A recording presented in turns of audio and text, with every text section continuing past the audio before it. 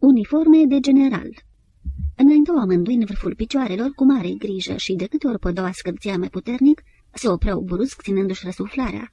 Și în acea clipă, aproape fără să-și dea seama, Ieronim apăsa butonul lămpii de buzunar și rămâneau pe întuneric.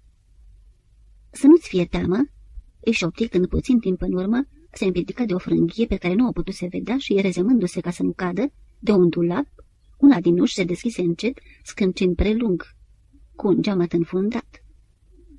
Să nu-ți fie teamă, nu e nimeni în toată casa. Atunci de ce vorbești atât de încet?" îl întrebă celălalt. Ieronim reaprinse lanterna și roti de câteva ori conul de lumină în jurul băiatului, fără să-l înalțe totuși până în dreptul figurii. Dar nu avea nevoie. O vedea destul de bine. Fața ofilită de licean, cu ochii adânciți nefiresc în orbite, buzele subțiri și părul tuns scurt, cu un început de breton pe frunte. Spune că te cheamă Vlad, nu-i așa?" Vlad, Vladimir Iconaru."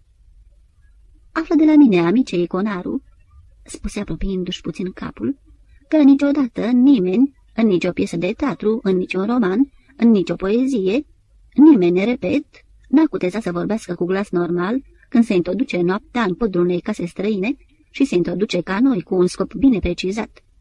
Să găsesc lada în care văduva eroului de război, generalul Iancu Calonfir, a păstrat cu pietate uniformele de gală ale soțului ei. Să găsească, zic, lada, să-i spargă lacătul și să fure cele două uniforme. Repet, să fure două uniforme de general. Dar spune că sunteți rude. Suntem, mai mult, tatăl meu era nepotul ei favorit. Era nepotul favorit al văduvei general Iancu Calonfir. Dar ce are a face? Ne-am introdus în acest pod cu chei false la căderea nopții ca să căutăm un anumit obiect și să-l furăm. E adevărat, un obiect de artă, poate de un anumit interes istoric, dar fără valoare. Două uniforme. Și o colecție de coleoptere, adăugă Vladimir. Ieronim își înălță din nou lanterna și de data aceasta îi concentra lumina deasupra capului băiatului. Apoi îi făcu semn să-l urmeze, dar după câțiva pași se opri. Nu am mai fost de mulți ani în acest pod, începu cu un glas neutru, dar îmi aduc foarte bine aminte toate obiectele, toate aceste dulapuri, lăzi și cufere. Și le arătă plimbându-și lanterna de-a lungul pereților. Îmi aduc de asemenea foarte bine aminte de poziția lăzii cu uniforme. Este acolo la vreo 10 metri în fața noastră, deși nu putem încă vedea, pentru că e ascunsă de nenumărate alte lăzi, cufere și multe, foarte multe pachete cu ziare vechi. Dar un singur lucru nu mi-aduc aminte. Nu mi-aduc aminte să fi vorbit de o colecție de coleoptere. Ți-am spus doar atât, că în această casă există multe insectare, că există mai ales o foarte bogată colecție de fluturi. Păcat, și fluturii sunt frumoși, dar marea mea pasiune sunt coleopterele. Ieronim își lăsă capul pe spate și îl privi surprins, cercetător. Interesant, continuă după câteva clipe. Și trebuie să recunosc, nu mă așteptam. Dacă aș scrie vreodată un tratat de morală, ar trebui să discut și cazul dumitale, căci ești un caz interesant. Într-un cuvânt, accepti cu entuziasm condiția de spărgător pentru o colecție de coleoptere, dar eziți, sau mai precis, ești tulburat de scrupule când afli că e vorba numai de fluturi. Nu ezit, protestă iconarul îmbujorându-se, pentru că, de fapt, nu e furt, sunteți rude, e vorba de aceeași familie. Și apoi, adăugă coborând glasul, toți sunt morți. De ce spui toți? Toți care au trăit în casa asta, generalul și văduva lui, și copiii pe care i-a avut și care au murit pe rând, unii în război, alții în bombardament. Nu mi-ai spus alaltă ieri că au murit toți și casa e pustie, iar dacă n-a luat-o nimeni până acum este pentru că a rămas șubrede de la bombardament și că poate au să dărâme la primăvară? Ieronim îl privi din nou lung, cu o mare tristețe apoi stinse lanterna. Așa este, șopti, toți au murit. Sau, adăugă după o pauză, ca să fiu foarte precis, aproape toți. Dar ce ar face? Nu avem dreptul să pierdem speranța.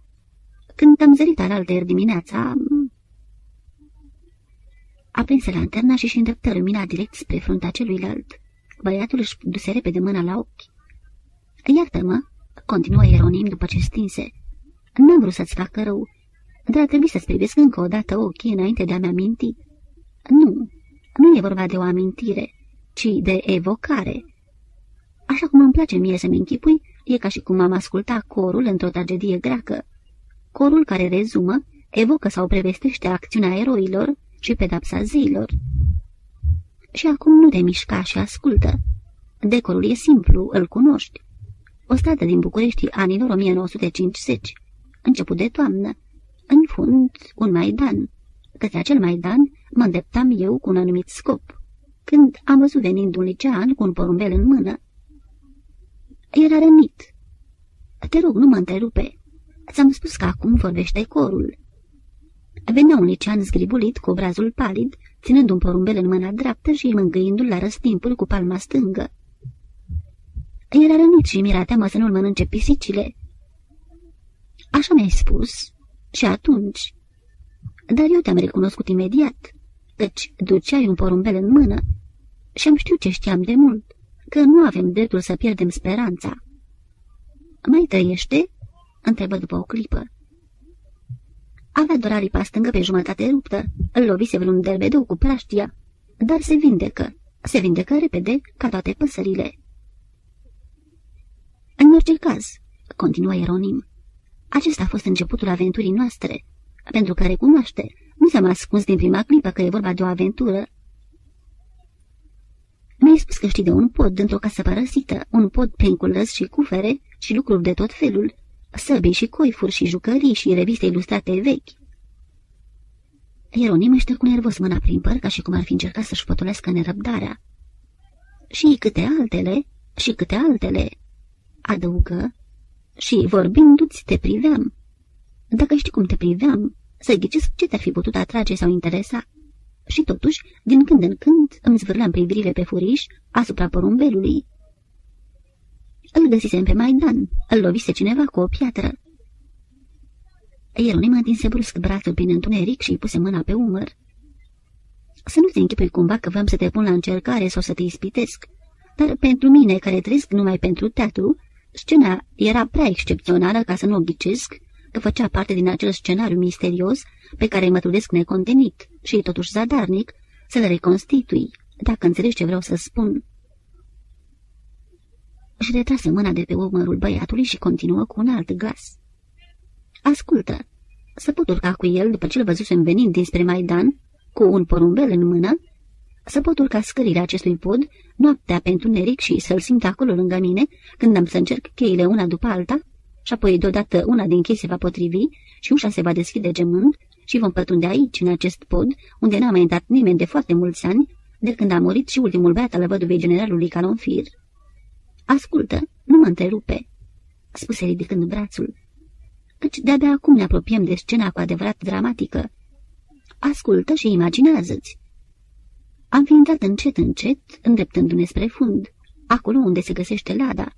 Și câte nu s-ar fi putut întâmpla? Dumnezeule, câte nu s-ar fi putut întâmpla? O biată lanternă electrică de buzunar.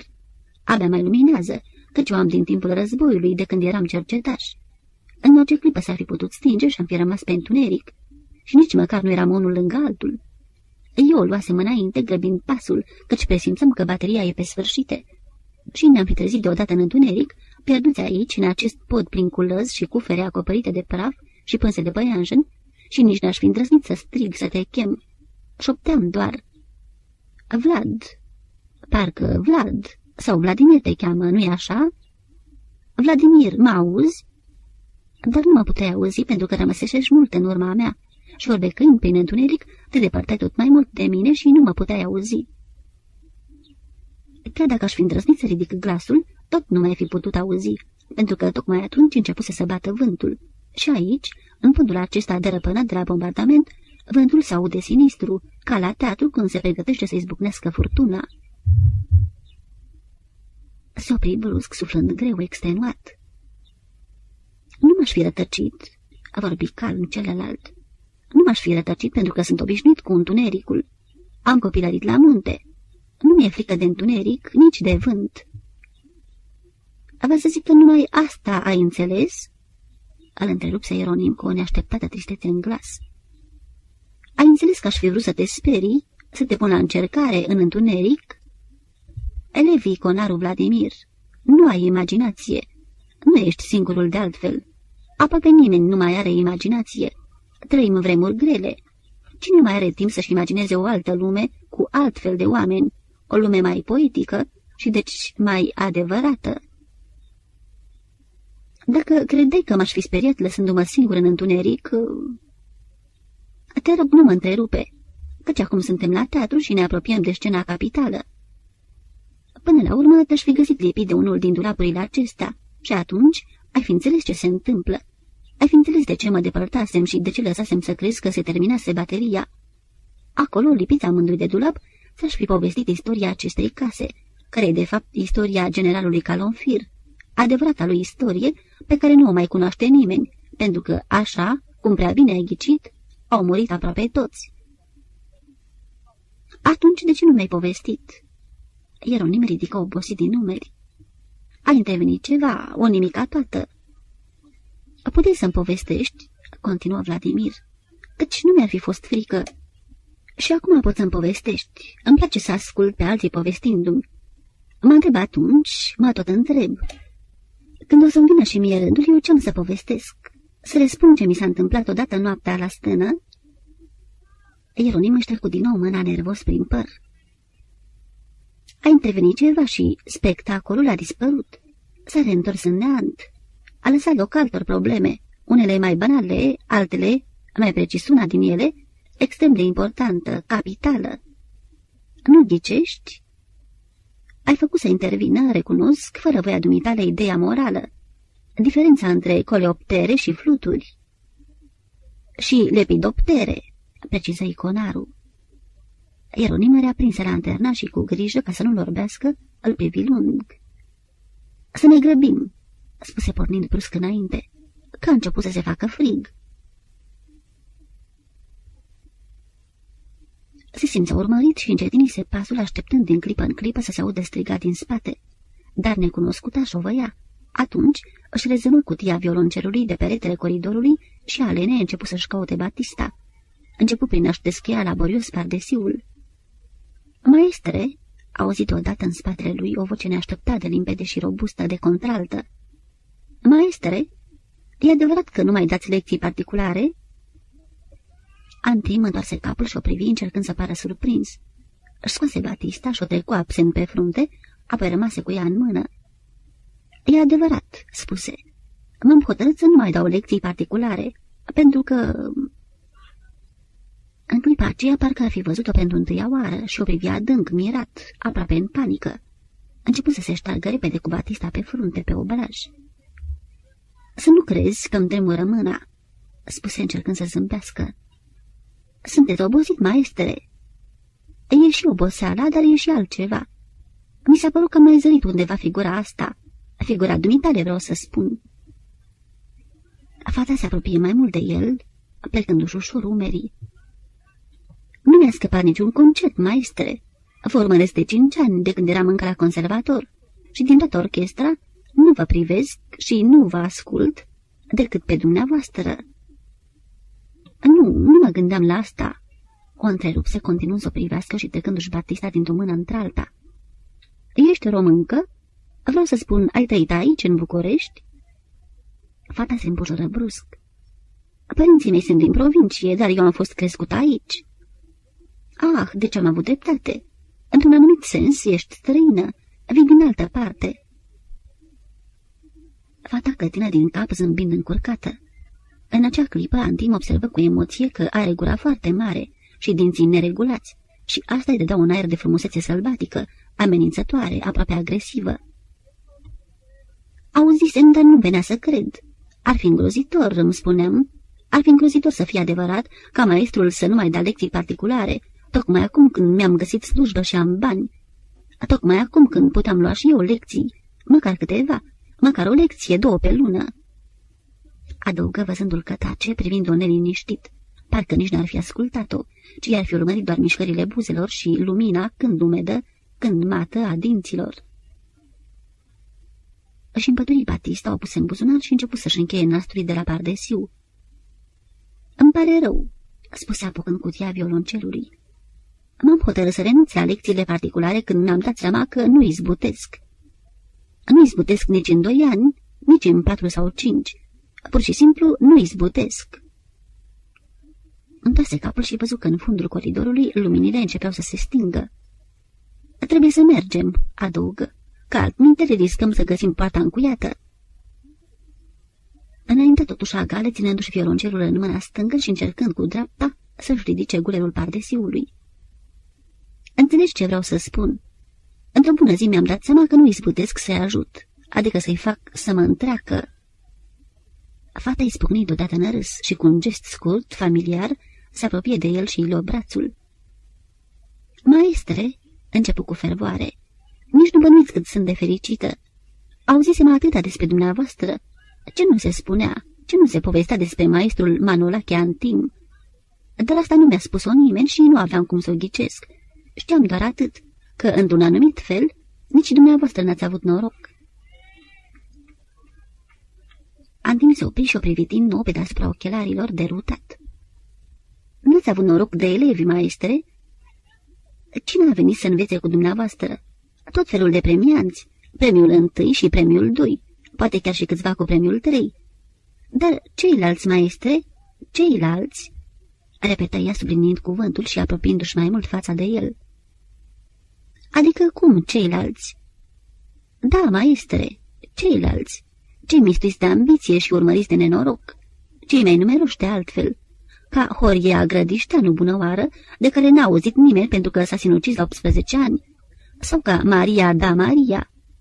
Asta, Maria Daria Maria, sunt eu, adăugă coborând glasul. Dar la școală mi se spunea Maria da Maria. Trebuie să ne grăbim, că altminte riscăm să...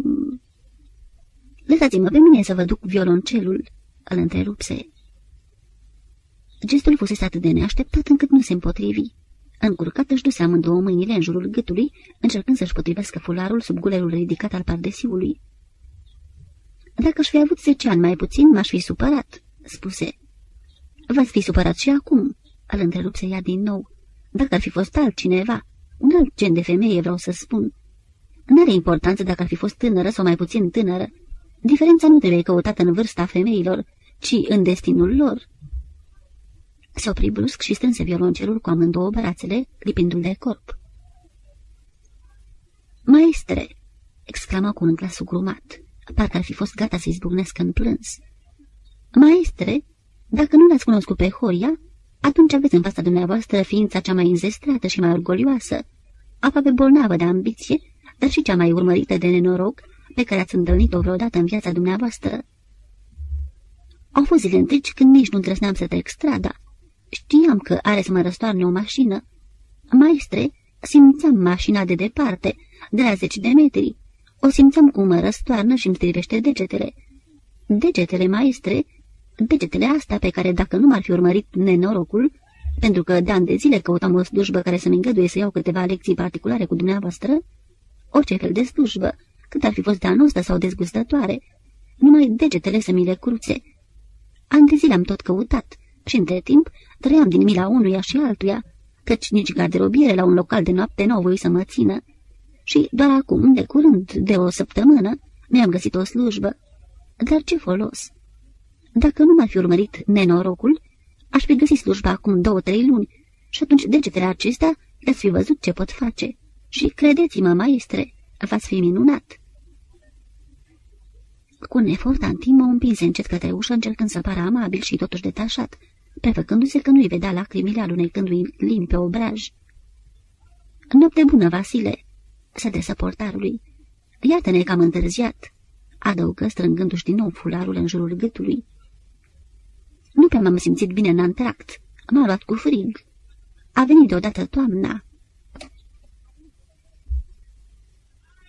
După ce rupseră pânzele de păianjen cu sluri făcute la repezală din ziare vechi, încercaseră să scuture praful de pe capacul lăzii, dar curând, Ieronim își dădu seama că praful se lipise ca un strat de noroi neted și uscat și zvârli surul printre pachetele de lângă perete. Încredință lanterna lui Iconaru și scoase din buzunar o verigă cu chei vechi. Început să le încerce la nimerală, fără prea mare convingere. La răstimpuri, scutura cu putere lacătul, parcă ar fi vrut să verifice dacă era cu adevărat încuiat. Fii mai cu băgare de seamă, șopti Iconaru. că faci prea mult zgomot și poate ne aude cineva." Ieronim îl privi surprins, încruntându-se, apoi clătină din cap ca și cum și-ar fi dat odată seama că băiatul avea dreptate. Atunci stinge lumina," spuse cât putu mai încet, și să nu vorbim, să nu ne mișcăm câteva minute, să vedem dacă se aude ceva." La început nu s-a auzit decât vântul, așa cum îl auzeau de câte ori rămâneau pe întuneric, tăcând amândoi.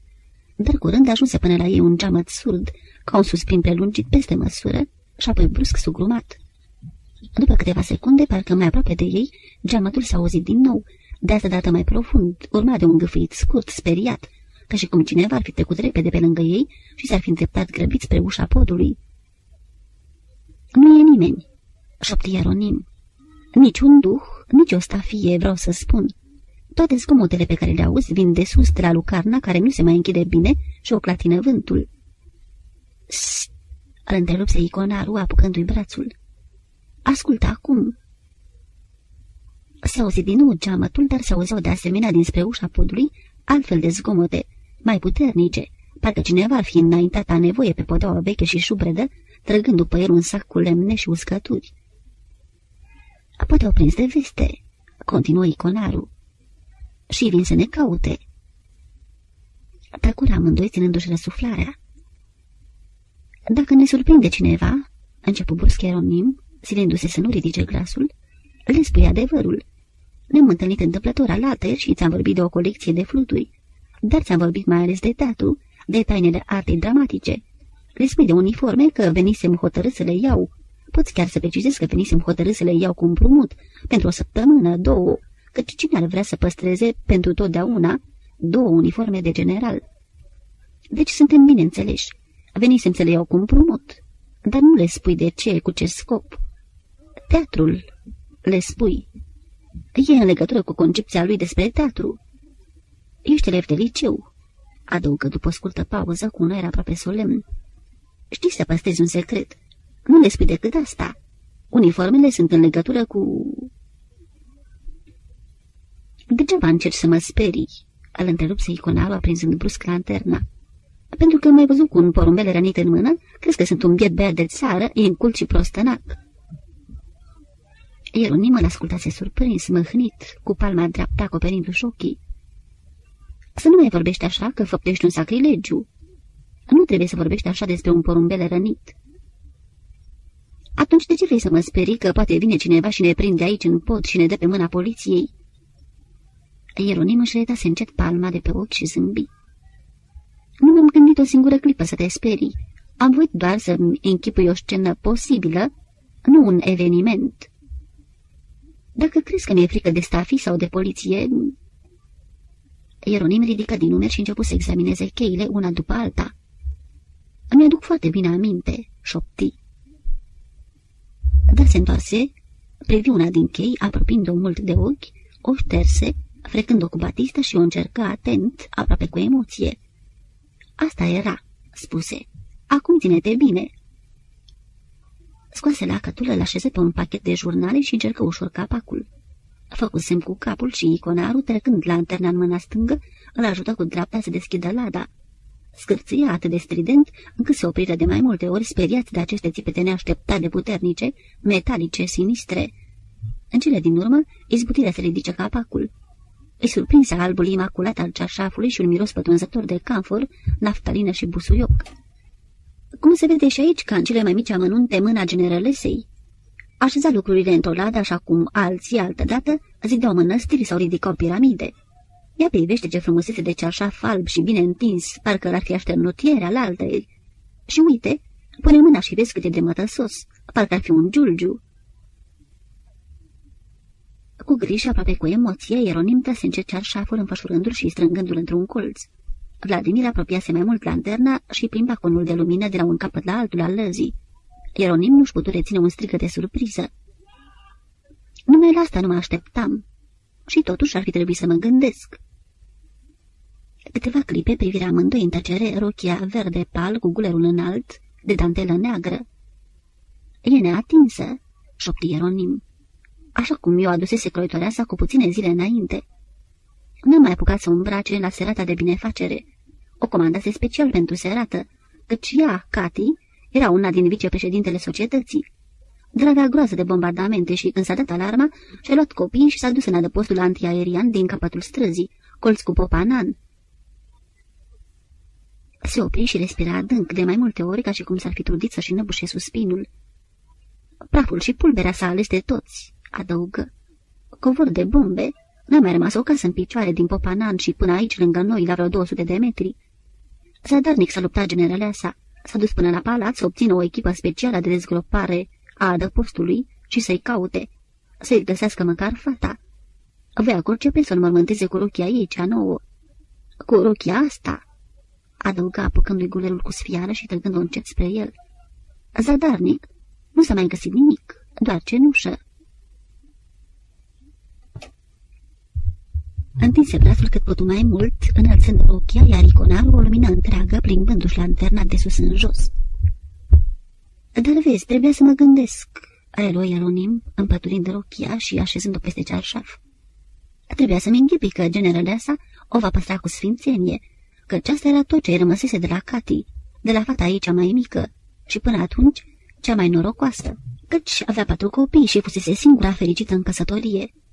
Atunci, în ziua bombardamentului, nu știa că soțul ei, Vanghele, capitanul Vanghele, tăgea să moară într-un spital din Iași. Celelalte două fete nu avuseseră noroc în căsnicie. Una divorțase și trăia la Craiova. Se încurcase cu un subdirector de bancă. Iar cealaltă, Voica, mai bine să nu mai amintesc. În cele din urmă și-a pus capăt zilelor.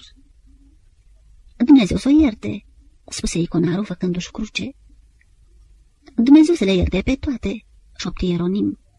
Pe toate și pe toți, adăugă mai mult pentru sine, pentru că aproape nu i s-au auziră cuvintele.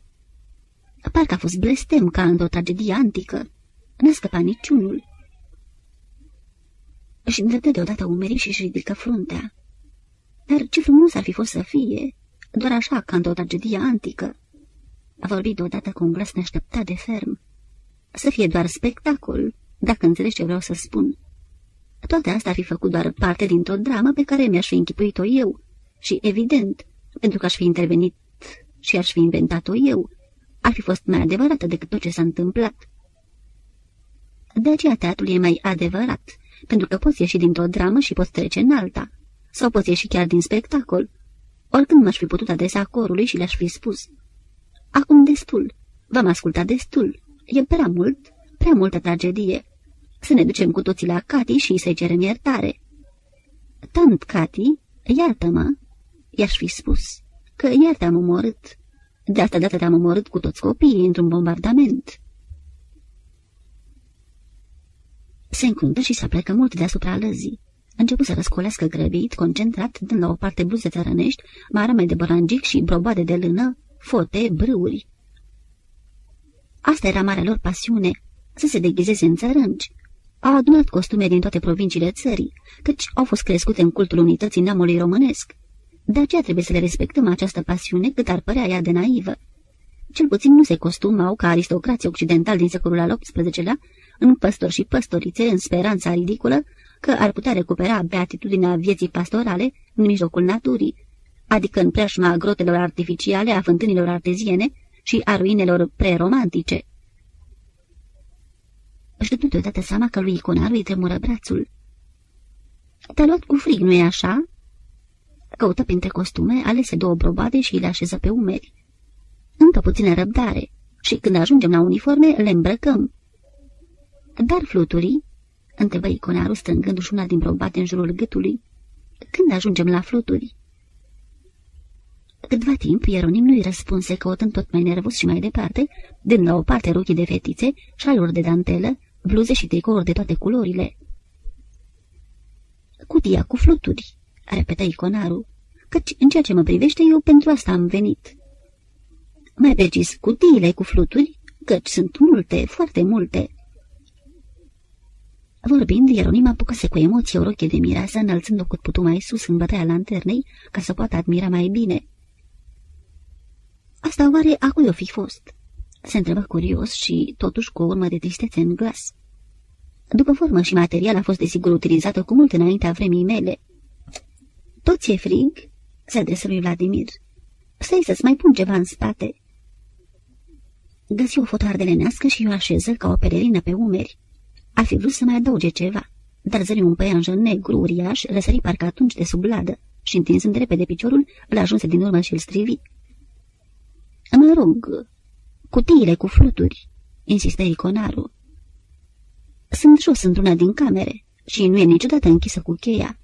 Doar ce îmbrăcăm uniformele de general, ne întingem și cu câte o sabie, dacă le mai găsim la locul lor în dulap, și îl arătă întinzând brațul către ușă, și coborâm.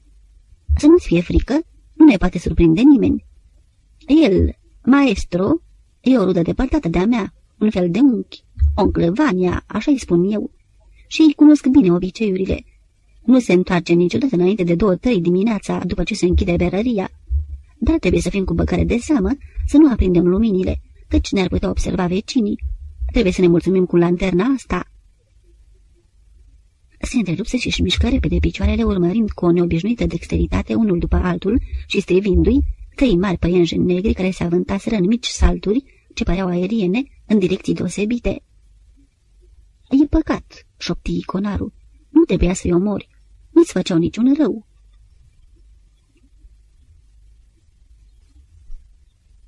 De mai multe ori, în fața cafenelei, Antim încercase zadarnic să ia violoncelul din mână. În cele din urmă, ridicase exasperat brațele în aer și, deschizându-i larg ușa, o poftise să intre.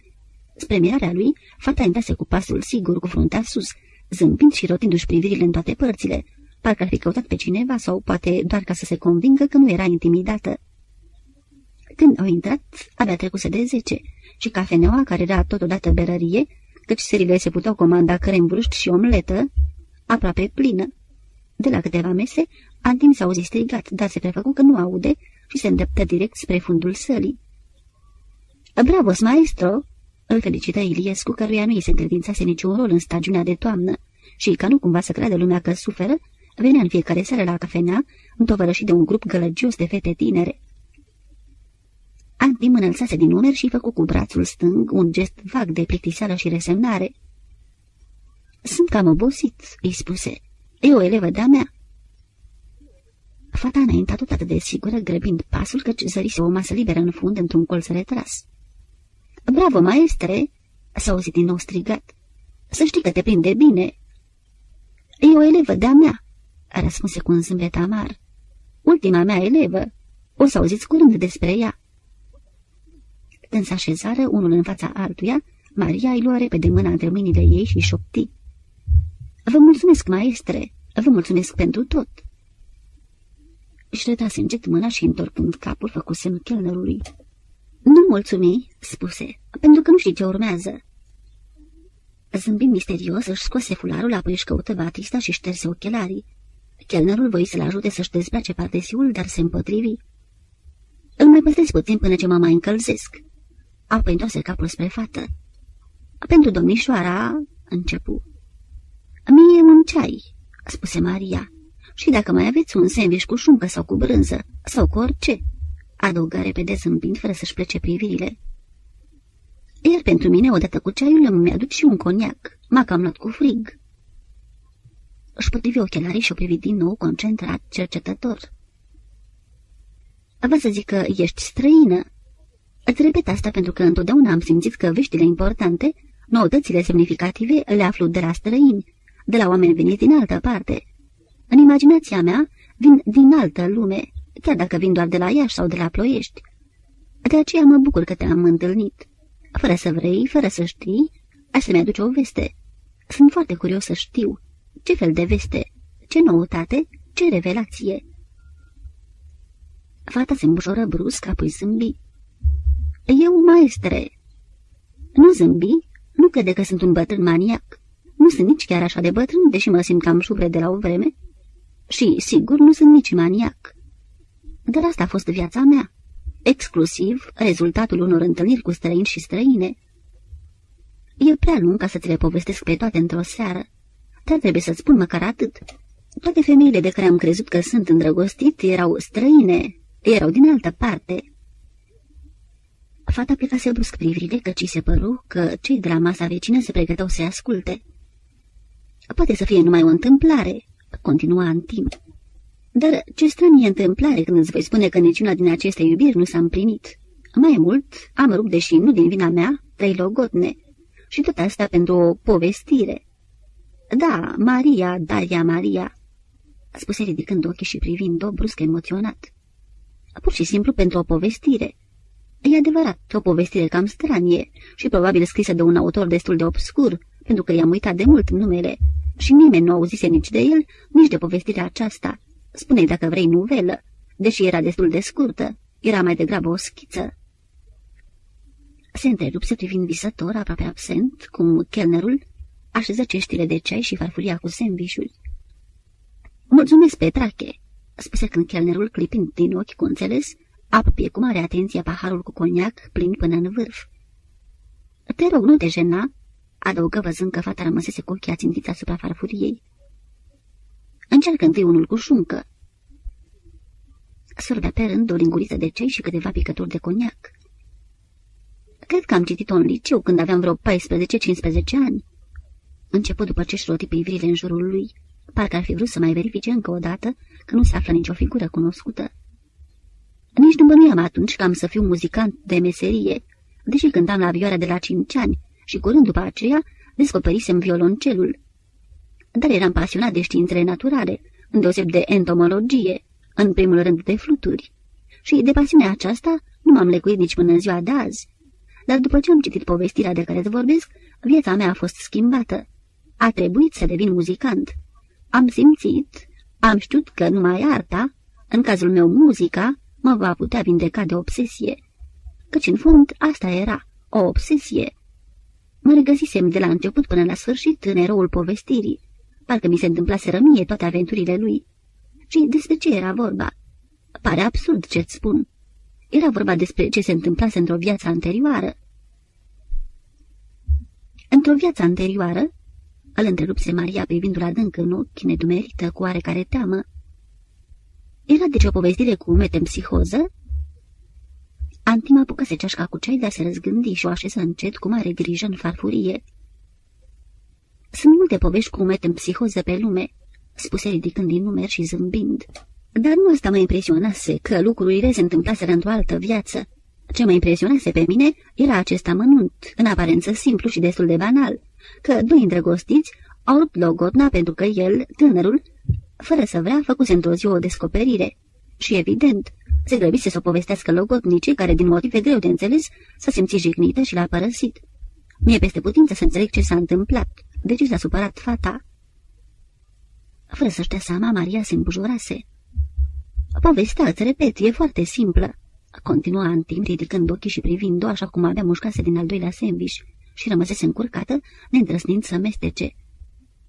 Într-un cuvânt, lucrurile se petreceau câteva secole în urmă, probabil în evul mediu, în Occident. Și eroul povestirii era un jongleur, un saltimbanc, un prestidigitator, cum vrei să-i spui. Se întrerupse ca să soarbă mai spornic din coniac, își șterse din nou ochelarii, apoi rămase o clipă visător, privind drept înaintea lui, fără să o vadă. Și acum când ai să asculți povestea, începu cu un ton ferm, ai să te mir că m-a putut impresiona atât. Tânărul acela, logotnicul fetei, era, cum îți spunem, un jongleur, un saltimbanc. Îmi aduc și acum aminte scena decisivă. Era costumat și își pregătea masca. Își punea vopsilele acelea pe obraz și auzea voci și râsete nu prea departe de el. Se află probabil într-un bâlci, într-un cort oarecare ascuns după o perdea, gata să apară din nou în fața spectatorilor și să-i facă să râdă cu acrobațiile și jongleriile lui. Și deodată, spune autorul, tânărul și-a dat seama de decăderea lui, într-un anumit sens de trădarea lui. Deodată, în clipa aceea, a înțeles că un jonglor și un saltimbanc, ca el, fusese făcut să distreze zeii, să-i amuze prin acrobațiile și prestidigitațiile lui, iar acum, el ca și toți cei ca el, distrau pe oameni. Nu înțeleg, șopti Maria pălind ușor. E greu de înțeles, continua în timp făcând semne de parte chelnerului. Pentru că asta nu se știa pe atunci, în secolele 14-15, și mă întreb cum a descoperit-o el, jongleurul. În fond, lucrul acesta nu știe nici astăzi toată lumea, dar așa a fost. Toate acrobațiile, jonglările și glumele saltimbancilor fuseseră la începutul începuturilor inventate pentru a distra pe zei. Se întrerupse așteptând să se apropie chelnerul. Același lucru, dar poate că vrea și domnișoara un coniac. Nu, maestre, mulțumesc, vorbi repede Maria. Poate cel mult puțin român ceai. Dar de ce-or fi avut nevoie zeii de jonglăriile noastre? Adăugă zâmbind câteva clipe în urmă. Nu mă întreba, pentru că n-aș ști ce să-ți răspund. Ce este sigur este că toate artele, muzica vocală și instrumentală, dansul, sculptura, pictura, toate au fost inventate ca să omagieze și să slujească pe zei. Muzica, dansul, teatrul, asta înțeleg, a vorbit Maria. Dar nu asta constituia pe propriu subiectul novelei, o întrerup Santim. Adevărata dramă a început după aceea, după ce tânărul i-a povestit logotnicei descoperirea pe care o făcuse, că el, faimosul artist, neîntrecutul saltimbanc și jongleur, își trădase adevărata lui vocație, care era într-un anumit sens religioasă, și ajunsese ca toți cei din brasla lui un simplu meșteșugar de bâlci, flatat și fericit că poate amuza oameni de tot felul, de la castelan și castelane, la argații și slugile lor. Și atunci, întrebă nedumerită Maria, ce s-a întâmplat? De ce s-au despărțit? Tocmai asta nu înțeleg prea bine. Poate nu mai mi-aduc aminte sfârșitul povestirii. Logotnica, scria autorul, l-a părăsit chiar în noaptea aceea. A plecat în lumea largă. Dar de ce? Stărui Maria. Eu fi fost teamă că, în urma acelei descoperiri, în fond o descoperire tragică, el, logotnicul, nu va mai fi, cum se spune, la înălțime. Nu va mai fi artistul neîntrecut, admirat și adurat de până atunci. Nu știu, nu-mi dau seama. Tăcu câtva timp, zâmbind visător. Mi-ar fi plăcut să mai urmeze ceva, ceva mai dramatic, chiar melodramatic. Bună oară, el să fi surprins când se pregătea să fugă și să-i spună că îl va căuta tot restul vieții și dacă nu-l va găsi, îl va căuta în alte vieți și până nu va da de el, nu se va liniști. Se întrerupse privind cu atenție, aproape cu admirație, îndemânarea cu care chelnerul îi pusese în față paharul cu coniac fără să verse o picătură. Mulțumesc, Petrache, ești formidabil!" Își apropie buzele și sorbi cu grijă, apoi se întoarse spre Maria. Dar nu i-a spus nimic, adăugă. Sau în orice caz, dacă i-o fi spus, nu mai mi-aduc aminte. Sfârșitul povestirii era destul de banal. Probabil că de aceea l-am uitat. Păcat, șopti Maria. Pe cât ne-am întrebat, continuă Antim însuflețindu-se. Când eram tânăr, nu apucam să cunosc bine pe cineva și îl întrebam dacă a citit povestirea asta. Și eu rezumam, uneori foarte emoționat, căci dacă vedeam că mă ascultă cu atenție, încruntându-se parcă ar fi încercat să-și amintească, începeam să sper. Poate că de data aceasta am noroc și aflu un numele autorului, sau titlul novelei, sau măcar sfârșitul. Ajunsesem de pomin atunci, prin 1914, în preajma războiului. Adăugă zâmbind. Sorbi din ceașca cu ceai, apoi apucă paharul cu coniac și îl păstră mult timp în palmă. Dar, cum ți-am spus, povestirea aceasta mi-a schimbat viața. Nu numai pentru că a trebuit să devin muzicant, dar mai ales pentru că pare atât de absurd, de ridicol, încât nici nu-ți vine să crezi. Pentru că, îți vorbesc foarte serios, toate femeile de care mă îndrăgosteam și cărora, evident, nu puteam să nu le povestesc descoperirea pe care o făcuse acel personaj de nuvelă, mă părăseau. Nu chiar pe loc ca nuvelă, dar scurtă vreme după aceea. Maria l ascultase fascinată, când foarte palidă, când îmbujorându-se. De ce s-ar fi supărat? M-ar fi crezut naiv sau sentimental, sau poate prost de-a binelea, căci cine ar fi putut lua în serios o povestire scrisă de un autor obscur și atât de absurdă? N-a fost atât de absurdă, șopti Maria, dacă v-a schimbat viața. Pentru întâia oară, Antimi spucni în râs. Râdea împăcat și totuși amar, așa cum râd uneori bătrânii. Îmi pare bine că te-am convins și te-am convins atât de repede. Vorbi continuând să zâmbească. Nici nu te-ai dat seama câtă dreptate ai. Pe de o parte, nu mi-am putut lega viața de niciuna din femeile pe care le-am iubit și care, îți repet, erau toate străine. Pe de altă parte, povestirea aceea m-a smuls din fluturii mei și m-a făcut în cele din urmă violoncelist. Întâi într-un quartet din Viena și apoi aici, în orchestra filarmonicii. Dar de ce numai atât? De ce n-am ajuns ce mi se prezicea în tinerețe? Ce mi-a prezis chiar Casals prin 1926?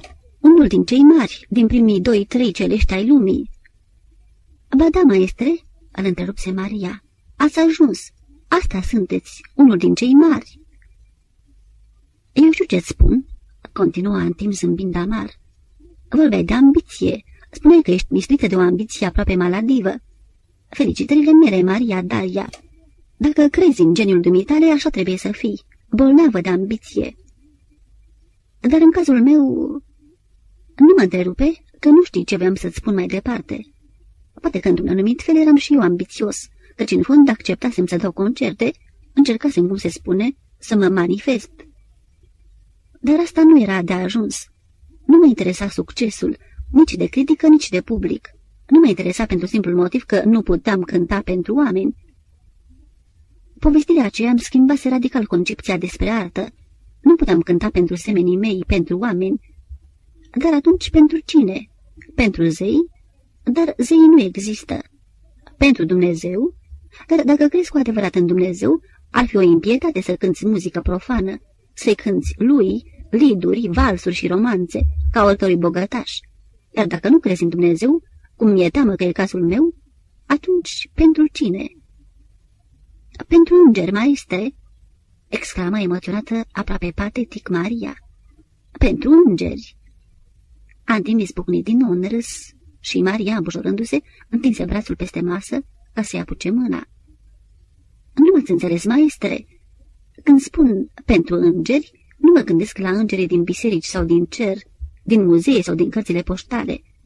Cântăm pentru îngerii din noi, căci fiecare om are în el un înger. Nu îngerul păzitor, ci îngerul care geme închis în întunecimile sufletului fiecăruia dintre noi și pe care rare ori, numai rare ori, izbutim să-l descătușăm, să-l lăsăm liber să-și ia zborul, să se înalțe și atunci, odată cu el, se purifică și se înalță și sufletul nostru, sufletul fiecăruia din noi. Antimo ascultase turburat, clipind la răstimpul din ochi, parcă s-ar fi trudit să se trezească dintr-un vis. Te rog, taci!" Ispugni deodată cu un glas grumat aproape de nerecunoscut. Taci!" repetă. Maria își retăsese mâna și rămase stingheră, cu privirile plecate. În acea clipă, Andim își dădu seama că ascultaseră toți vecinii și cu un efort zâmbi. E greu să-ți explic," spuse. Nu e vorba despre mine."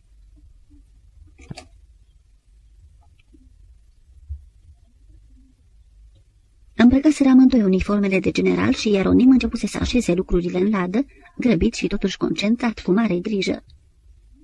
Dumitale ți se potrivește de minune," șoptise Vladimir. Parcă e turnată, dar pe mine atârnă ca pe un pui de bogda proste." Ține cald," îl consolase Ieronim. E ca un palton căptușit cu lână." Dar uite cum atârnă, mi-ajunge aproape de genunchi și ia te uite la mâneci," adăugă întinzând brațul. Ți-am spus, ține cald. O scos după ce coborâm în salon. E mai ușor să o porți în spate decât să o duci în mână. Nu mai avem mult, adăugă. Așezase rochia de mireasă, dar își dădu seama cu mirare că nu încăpea în ladă și rămăsese câteva timp derudat. Poate ar fi mai bine să însuflec mânecile, spuse Vladimir. Dacă ții o clipă lanterna. Ieronim i-o luase și cu mâna stângă, distat, început să preseze franjurii rochiei.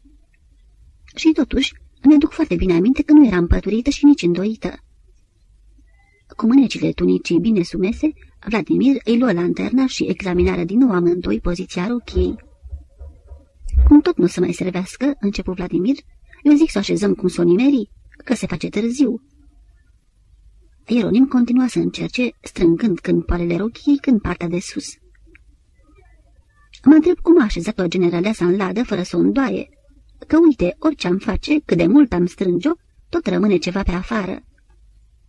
Eu zic să nu mai pierdem vremea, începu Vladimir. Dar se întrerupse speriat, făcu semnul Ieronim să tacă, apăsându-și degetul pe buze și stinse lumina. Se aude ceva, șopti cât putu mai încet. După primele măsuri, Antim închisese ochii și îi se părut deodată că visează, că se află din nou lângă el, lângă Casals, în acea după amiază din mai 1926, când fără să se anunțe, bătuse timid la ușă și spusese Vă rog să mă iertați, eu sunt entomolog." Probabil că așa reușise să-l dezarmeze, căci un sfert de ceas mai târziu, Cazals îl ascultase concentrat și, după obiceiul lui, încruntându-se și îl felicitase. Ai făcut bine că te-ai lăsat de entomologie," îi spusese râzând. Apoi apucase violoncelul și, privindu-l cu simpatie, făcându-i cu ochiul, ca unui băiețandru, reluase aceeași bucată. Și acum cânta din nou Cazals. Cânta tot opus 56 și cânta aici, în acest salon rece și umed, sărăcăcios luminat, părăginit, pe jumătate ruinat. S-a întors în Clăvania, șopti Ieronim. Nu știu ce s-a fi întâmplat, căci de obicei nu se întoarce înainte de două-trei dimineață. De altfel nu cântă el, adăugă. Nu cântă niciodată după concert. Ce ne facem?" întrebă cu sfială Vladimir. Dacă ne aude." Nu-ți fie teamă. Când ascultă muzică, nu mai aude nimic altceva. O fi venit cu cineva din orchestră ca să verifice vreun pasaj și atunci nu rămâne mult. Îl așteaptă ceilalți la cafenea. Îl așteaptă ca să joace șah. Adăugase ultimele cuvinte foarte încet, mai mult pentru sine, dar fără să-și poată stăpâni iritarea. Parcă l-ar fi auzit din nou pe caimata, pretențios și protector și vorbindu-i totuși cu venerație, aproape cu evlavie. De câte ori le întâlnea, nu-i putea vorbi de altceva. Degeaba, Eronime, tată, începea punându-i mâna lui grea pe umeri. Cât o fi de genial cu Manolache în muzică, nu-l întrece nimeni la șah. Ar fi putut ajunge oricând campion pe țară, oricând, dar nu vrea, nu-l interesează. În final se lasă bătut, parcă ar vrea să ne facă în necaz nouă. Nouă, prietenii și admiratorii lui. Antim deschisese de mult ochii, dar nu îndrăznea să o privească. Ușor a plecat asupra violoncelului, Maria zâmbea trist ca în somn. Aceste măsuri inimitabile, care pregăteau finalul fără ca totul să-l anunțe, întrecuseră tot ce înțelesese el până atunci, și când ecoul ultimei note se stinse, sări brusc în picioare, se apropie de fată, o sărută pe amândoi obrajii, apoi îi sărută mâinile. Ai avut dreptate, Maria," începu emoționat. Degetele astea ei fu teamă că îl vor podidi lacrimile și atunci se reduc câțiva pași înapoi și începu să-și descheie nasturii de la pardesiu ca și cum s-ar fi hotărât brusc să și-l scoată. Să nu răciți, maestre," spuse Maria, că aici în salon e mai frig ca afară." Antim rămase câteva clipe nehotărât, cu pardesiul numai pe jumătate deschiat. Ai avut dreptate," a repetat coborând glasul. N-am avut noroc nici eu, nici dumneata. Am pierdut atâta timp." Trebuia de mult să mă caut și să vii să mă vezi. Ai fi fost astăzi celebră." Vă mulțumesc, maestre," șopti Maria ștergându-și sfioasă lacrimile cu pădul palmei. Nu vrei să mai cânți ceva? Încă una din bucățile dumitale preferate." Maria îl privi cu un mare zâmbet, luminându-i fața. Apoi se aplecă ușor asupra violoncelului și așteptă. Am putea așeza lucrurile în ladă, șopti iconarul chiar așa pe întuneric, că sunt doar lucruri de cucoane și nu fac zgomot. Sunt entomolog, îi repetase, dar când aveam vreo 14-15 ani, am citit o poveste ciudată, destul de stranie, o poveste într-un anumit fel absurdă și povestea asta m-a silit să devin muzicant. Cazal să-l ascultase zâmbind tot timpul și spre mirarea lui nu părea surprins. În fond asta se întâmplă cu noi toți, cu toți artiștii, îi spusese. Pe de o parte, trădăm, trădăm un ideal, căci orice ideal în cele din urmă este inaccesibil. Dar pe de altă parte... Fata se oprise brusc și ridicase speriată privirile spre tavan. Iertați-mă, maestre, dar nu mai pot. Mi-e frică. Mi se pare că umblă cineva prin pod. Antim începu să râdă fără să reușească totuși să-și ascundă tulburarea. Așa se aude întotdeauna, nopțile mai ales. Acum, toamna, când bate vântul, e și mai rău. Casa asta e pe jumătate ruinată. O vezi bine de altfel, adăugând din brațul spre fundul salonului. În penumbră se zerau câteva scânduri bătute de-a lungul peretelui, neîndemânatic acoperite cu draperii decolorate, zdrențuite, mâncate de molii. Nu mai cântă, șopti Ieronim. Asta înseamnă că se pregătesc de plecare. Ia dă-mi o clipă lanterna. O aprinse și, valându-i lumina cu palma stângă, se îndreptă în vârful picioarelor spre ușă. Nu e vântul, maestre," spuse Maria, ascultând cu capul ușor dat pe spate. Umblă cineva prin pod și adinaur mi s-a părut că am auzit și șoapte." Întâi mă ascultă și el câtva timp, apoi ieși brusc și, după ce aprinsă lumina pe coridor, se îndreptă spre scara de lemn ce ducea la pod și strică cu un ton surprinzător de sever. Ieronim, te rog, cobar imediat jos. Tionton, imediat, repetă. Se întoarse cu el de mână și îl prezentă. Nepotul meu, Ieronim Tanase. Poate ai mai auzit de el acum vreo zece ani, când era copil minune și juca la teatrul municipal. Cel mai precoce actor pe care l-am avut vreodată. Ieronim pășea drept, cu fruntea sus, zâmbind, dar în fața Mariei se plecă și cu o exagerată politețe îi sărută mâna. Sărută-i amândouă mâinile, adăuga în timp, căci este o foarte mare artistă. Maria, Daria Maria, dați înainte, eleva mea, dar elevă numai cu numele, căci m-a întrecut înainte de a mă cunoaște. Maestre, începu încurcată Maria, și este evident străină. Părinții ei sunt din provincie. Când am cunoscut-o astă seară, mă tot întrebam ce revelație îmi va face. Nu bănuiam că are să fie chiar asta, geniul. Maestre, șopti din nou Maria. Ieronim continua să-i sărute cu delicatețe, dar insistent, când o mână, când cealaltă. Acum destul, îi spuse Antim răzând. Să fi. Ai să ascult și tu și ai să te convingi. Va fi, dacă nu este deja, cea mai strălucită lista a timpului. Își potrivi ochelarii și îl privi deodată curios, măsurându-l din cap până în picioare. Dar ce ți-a venit să te îmbraci cu uniforma generalului?" Ieronim întoarse capul spre Maria și o cercetă lung cu gravitate. Puteți păstra un secret?" o întrebă. Măcar pentru o săptămână, două, până la spectacol." Apoi, fără să-i asculte răspunsul, se întoarse spre Antim. Deci, într-o săptămână, două, jucăm Hamlet la teatrul experimental, la teatrul nostru.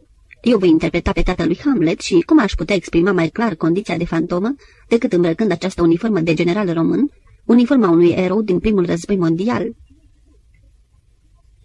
E absurd, îl întrerupse Antim zâmbind amuzat. E absurd, dar de la tine nu mă mai miră nimic. Ieronim se îndreptă hotărât, aproape amenințător spre Maria. Să fie oare atât de absurd? O întrebă privind-o în ochi. Pur și simplu pentru că nu seamănă cu ce s-a făcut până acum, dar o uniformă de general român ne spune mai direct decât orice alt costum baroc, costum așa zis de principe dintr-o Danemarcă fictivă. Ne spune că e vorba de un mort mai precis, de moarte, de ceva care a fost și nu mai poate fi, care a fost și nu mai poate fi pentru că a intervenit tragedia. Maria îl privise și l-ascultase zâmbind. Are să fie greu, a vorbit cu o voce neașteptată, blândă. Are să fie greu să convingi spectatorii că ești fantoma regelui asasinat. Așa cum arăți acum, în uniforma asta de general român, tânăr și zvelt, și o știi și dumneata, mai frumos decât are dreptul să fie un bărbat, semneni mai degrabă cu un erou romantic, din Byron sau din Pushkin. Ieronim păli ușor și o stranie tristețe îi întunecă deodată privirile.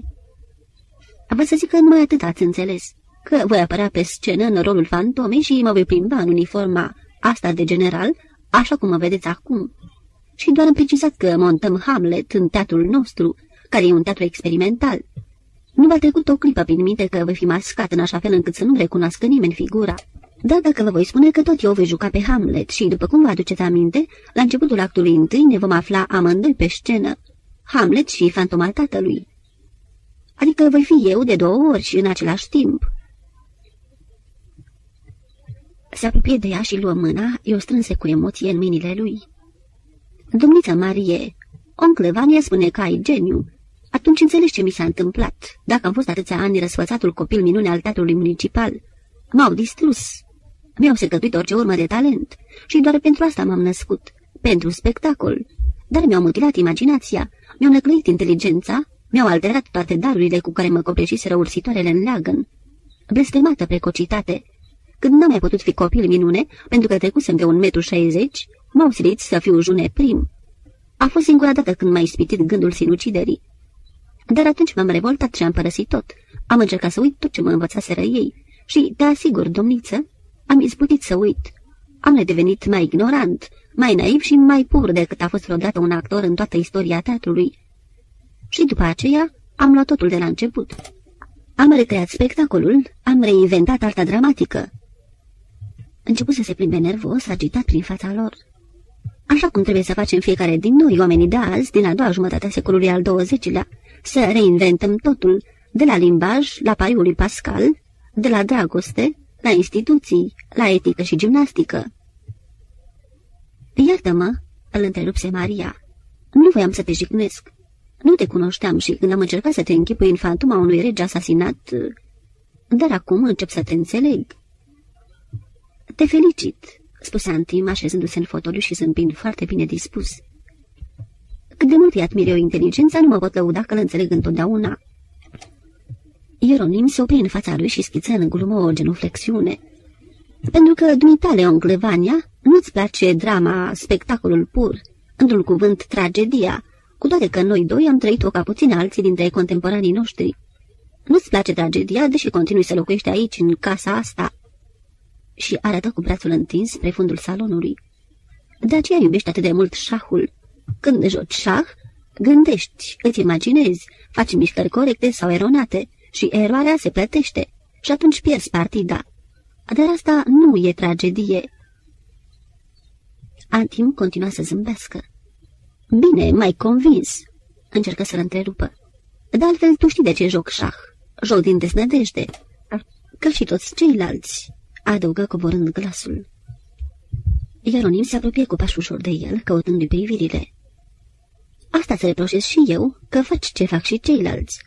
Dar ce avem noi în comun cu ceilalți?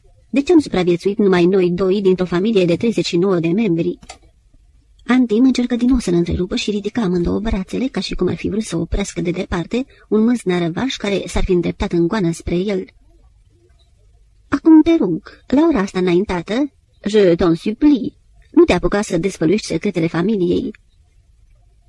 Îmi cer iertare, a vorbi Ieronim îndreptându-se spre Maria, punându-și mâna în dreptul inimii și frângându-se din mijloc. La răstimpuri, sufăr de accese de indiscreție, de cea mai vulgară specie de indiscreție. Dar adineauri voiam să spun numai atât, că noi doi, maestro și cu mine, singurii supraviețuitori ai familiilor Calonfir, Antim și Tanase, suntem și, desigur, nu din întâmplare, singurii artiști răsăriți din neamul nostru. Se întoarse brusc spre Antim, încercând să zâmbească. Dar această nobilă vocație ne obligă, oncle Manolache, lasă pe alții de-al de Caimata și Sanfir să joace șah din desnădejde. Noi trebuie să ne înfruntăm destinul, să acceptăm deci tragedia ca singurul mod de existență vrednic de un artist, doi cu atâția morți. Mulți pe care, vrând nevrând, îi purtăm în spate. Prea ne-a strâns în brațe destinul, prea ne-a urmărit nenorocul. Maria roșii brusc și căută speriată privirile lui Antim. Te rog, nu vorbi de nenoroc, încercă din nou Antim să-l întrerupă. Îl cunoaștem prea bine și îl cunoaște și Maria.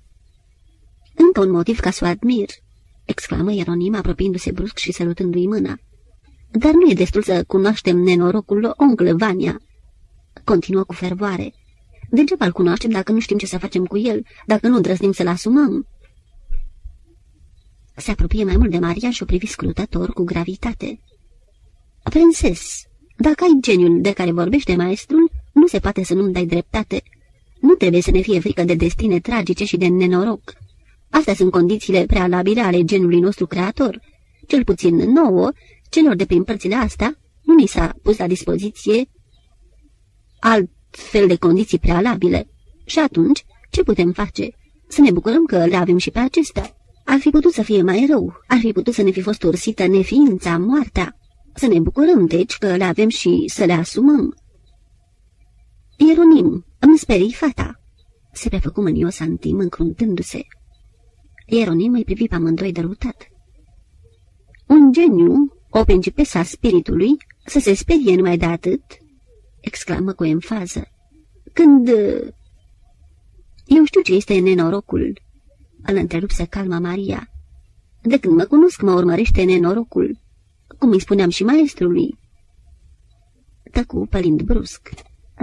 În prag, cu uniforma de general atârnându-i până aproape de genunchi, dar cu mânecile mult sumese și părând prea scurte, cu fața mânjită de praf și funingine, o asculta iconarul. Din câțiva pași, Ieronim fu lângă el și cuprinse umărul cu brațul. El este iconarul Vladimir, de care tocmai mă pregăteam să vă vorbesc. L-am întâlnit alalter pe stradă. Ducea un porumbel rănit în mână. Îl rănise vreun derbedou cu praștia. Mi-a fost teamă să nu-l mănânce pisicile.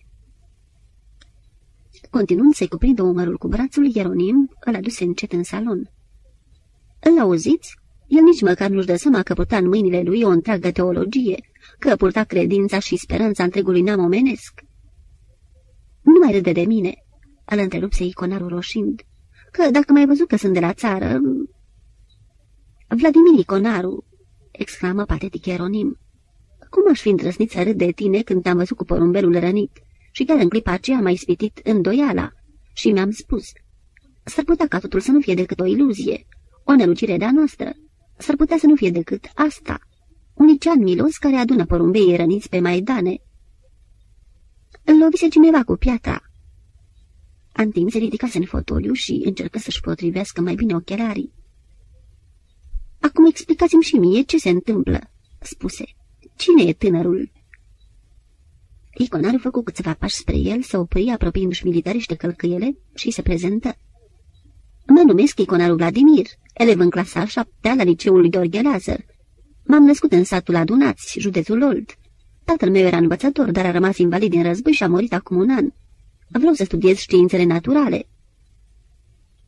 Ieronim îl întrerupse apucându-i brațul. El crede și spune că e entomolog, dar evident este altceva și altcineva. Este băiatul care ducea un porumbel rănit în mână. V-am spus că trebuie să reinventăm pariul lui Pascal. Adăugă căutând pe rând privirile Mariei și ale lui Antim. Dar de ce l-ai îmbrăcat și pe el în uniformă de general?" întreba Tim. Pentru că era frig și începuse să tremure acolo în pod în fața lăzii. Se întoarse brusc spre iconarul. Ce haină bună, caldă și grea!" exclama visător. Ce haină grea, frate Vladimir! Parcă ar fi un trup cald care te-a cuprins în brațe ca să te apere de frig."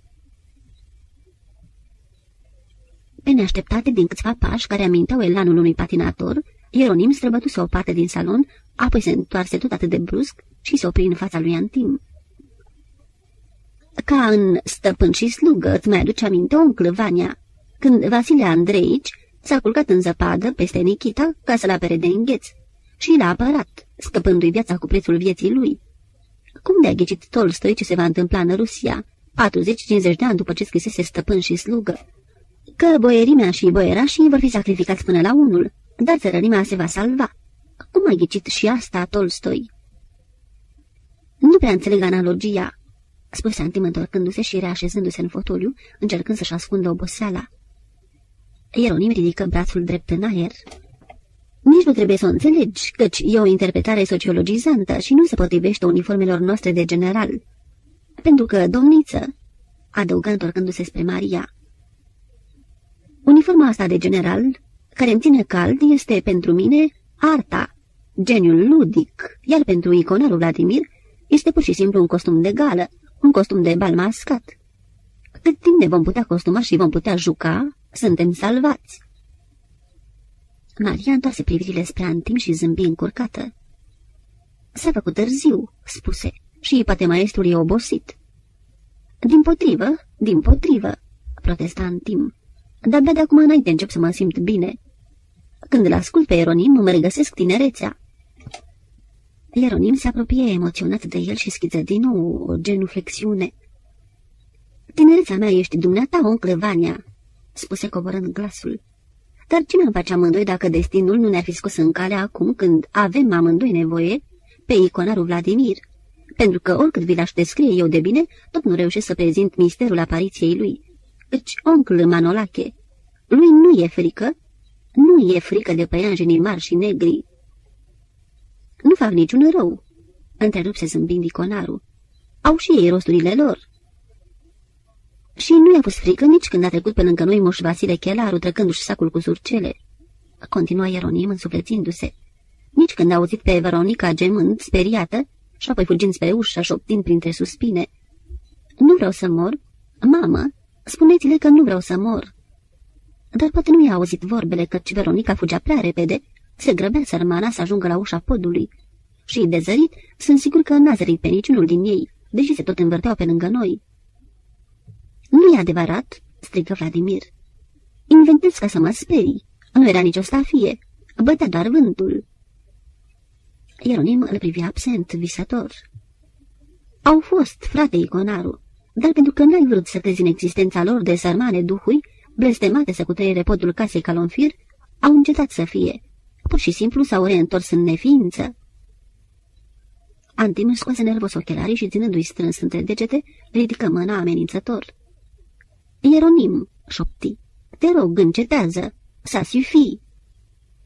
Ieronim se repezi spre fotoliu și, înainte ca Antim să prindă de veste, în genunche apucă mâna și o sărută. Iertare, moș Manolache!" exclamă emoționat. Dar ce să fac dacă mă blestemat și pe mine ursitoarele?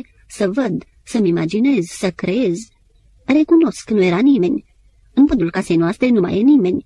Nu se aude decât vântul prin lucarnă. Dar spune, maestro, n-ar fi fost frumos să fi crezut că auzim pe moș Vasile Chelaru și pe Veronica, să fi înghețat de frică, să fi cunoscut atât de tânăr, iar el, Vladimir, e încă un copil, să fi cunoscut amândoi teroarea fără nume, clipa aceea fără început și fără sfârșit, când noi, oamenii, vom descoperi că n-am fost niciodată singuri? Ce imaginație maladivă! Izbucni deodată Maria cu o greu stăpânită exasperare în glas. Un artist tânăr și cultivat ca dumneata să-ți inventezi singur obsesiile teroarei? Ieronim se ridicase în picioare și o privea tulburat. Din păcate, spuse, n-am inventat nimic. Eu însumi sunt produsul teroarei. Și atunci mă apăr cum pot. Mă apăr jucând teatru, transformând obsesia și nenorocul în spectacol. Maria se oprise la un pas în fața lui și îl privea sălbatic, respirând cu greutate, tremurând. Cu numele cu care te-ai născut, cu talentul, îndrăzneala și frumusețea dumitale, nu ai dreptul să vorbești de nenoroc. Dacă ți-au servit inteligența și talentul când erai copil minune, ai izbutit să te vindeci singur, așa cum ai recunoscut-o adineauri. Dar chiar atunci, când erai copil minune, nimeni n-a încercat să te desfigureze, în așa fel încât să nu mai poți juca niciodată teatru. Niciodată. Se întrerupse foarte palidă și încercă să-și înăbușe un suspin respirând adânc. Așa cum au vrut să-mi facă mie la școală când mă băteau cu varga și îmi loveau îndeosebi degetele, doar de mi-o rup pe vreunul. Așa cum era să mi se întâmple la mașina de tăierat, deși imploram să mă lase să fac altceva. Le spuneam că iubesc violoncelul, că viața mea e asta, violoncelul, și imploram în genunchi să-mi cruțe degetele. Și de atunci mă trezesc aproape în fiecare noapte țipând de groază și îmi pipăi degetele, aprind lumina și le privesc unul câte unul. Și de frică nu mai îndrăznesc să mă culc și stau cu capul în palme plângând și îmi sărut degetele. Și ani de zile nu am avut alt gust în gură decât gustul lacrimilor pe care le culegeam, sărutându-mi degetele. Iconarul rămăsese cu cutia pe genunchi. O strângea bine cu amândouă mâinile și, deși învățase acum pe din afară locul fiecăreia din aceste fabuloase coleoptere din Africa Centrală, deși le învățase pe din afară locurile, încă nu putea crede că această comoară era a lui. Eu nu mai mă ocup de mult de coleoptere," îi spusese Antim, conducându-l către fundul salonului. Uite, vezi?" Se oprise ca să arate locul. Aici fusese cândva o oglindă mare și înaltă cât aproape tot peretele, dar în ziua când a murit generalul Calonfir, văduva, generaleasa, a acoperit-o cu o draperie de catifea. Pasiunea mea au fost fluturii. Continuă deschizând cu efort o ușă pe jumătate înțepenită și luându-l de mână, îl conduse încet cu grijă prin întuneric. Aici a fost la început sufrageria, dar după ce au vândut mobila, au transformat-o în birou, dar acum e aproape goală și s-a stricat și lumina. Nu știu ce are, pentru că de câte ori atinge cineva comutatorul, se face un scurt circuit. Și acum că am ajuns, să nu te miri că nu o să-ți dau voie să privești vitrinele, adăugă. În acea clipă lumina îi se păru orbitoare, căci cădea din tavan și îi se revărsa și din lămpile mari și înalte, așezate în cele patru colțuri. Se trezi în mijlocul unei vaste încăperi, cu periți acoperiți cu cutii, prin geamul cărora se vedeau cei mai mari, mai frumoși, mai extravagant colorați fluturi, așa cum nu văzuse nici la muzeu. Nu te apropia, pentru că nu se te mai întorci să pleci. Și ne așteaptă Maria, Daria, Maria. Și acum, ce să-ți dau? Ce să-ți dau?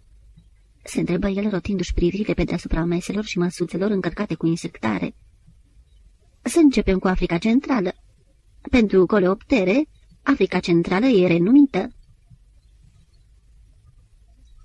Strângea cutia cu amândouă mâinile, dar nu-și putea lua ochii de la degetele Mariei. Parcă acum le vedea pentru prima dată, așa cum săltau, mângâind coardele sau apăsându-le, amenințătoare, parcă ar fi încercat să le plesnească. Nu mi-ajungeau până la el sunetele, nu vedea decât degetele și începuse să-i fie frică. Dintr-o clipă într-alta, Ar fi putut să plesnească una din coarde sau să greșească o singură mișcare a arcușului. Arcușul acesta, pe care îl ținea strâns în pumn, ca o vargă. Și atunci, unul din degete și mai ales degetul cel mai mic... Nu putea asculta și după câteva clipe nu mai îndrăznea nici măcar să-i privească degetele. O văzuse alergând desfigurată de groază, urmărită de mulțimea aceea compactă, rea, fără figură. Le auzea strigătele și din când în când cineva se oprea lângă el, îl apuca de braț și îl întreba amenințător. Încotro a fugit? Spune repede, încotro a fugit. Unde s-a ascuns? Înghețind a nevoie, clipind des ca să alunge viziunea, Ieronim implora corul. E absurd. Nu e vorba de ea. Spuneți-le că s-au înșelat.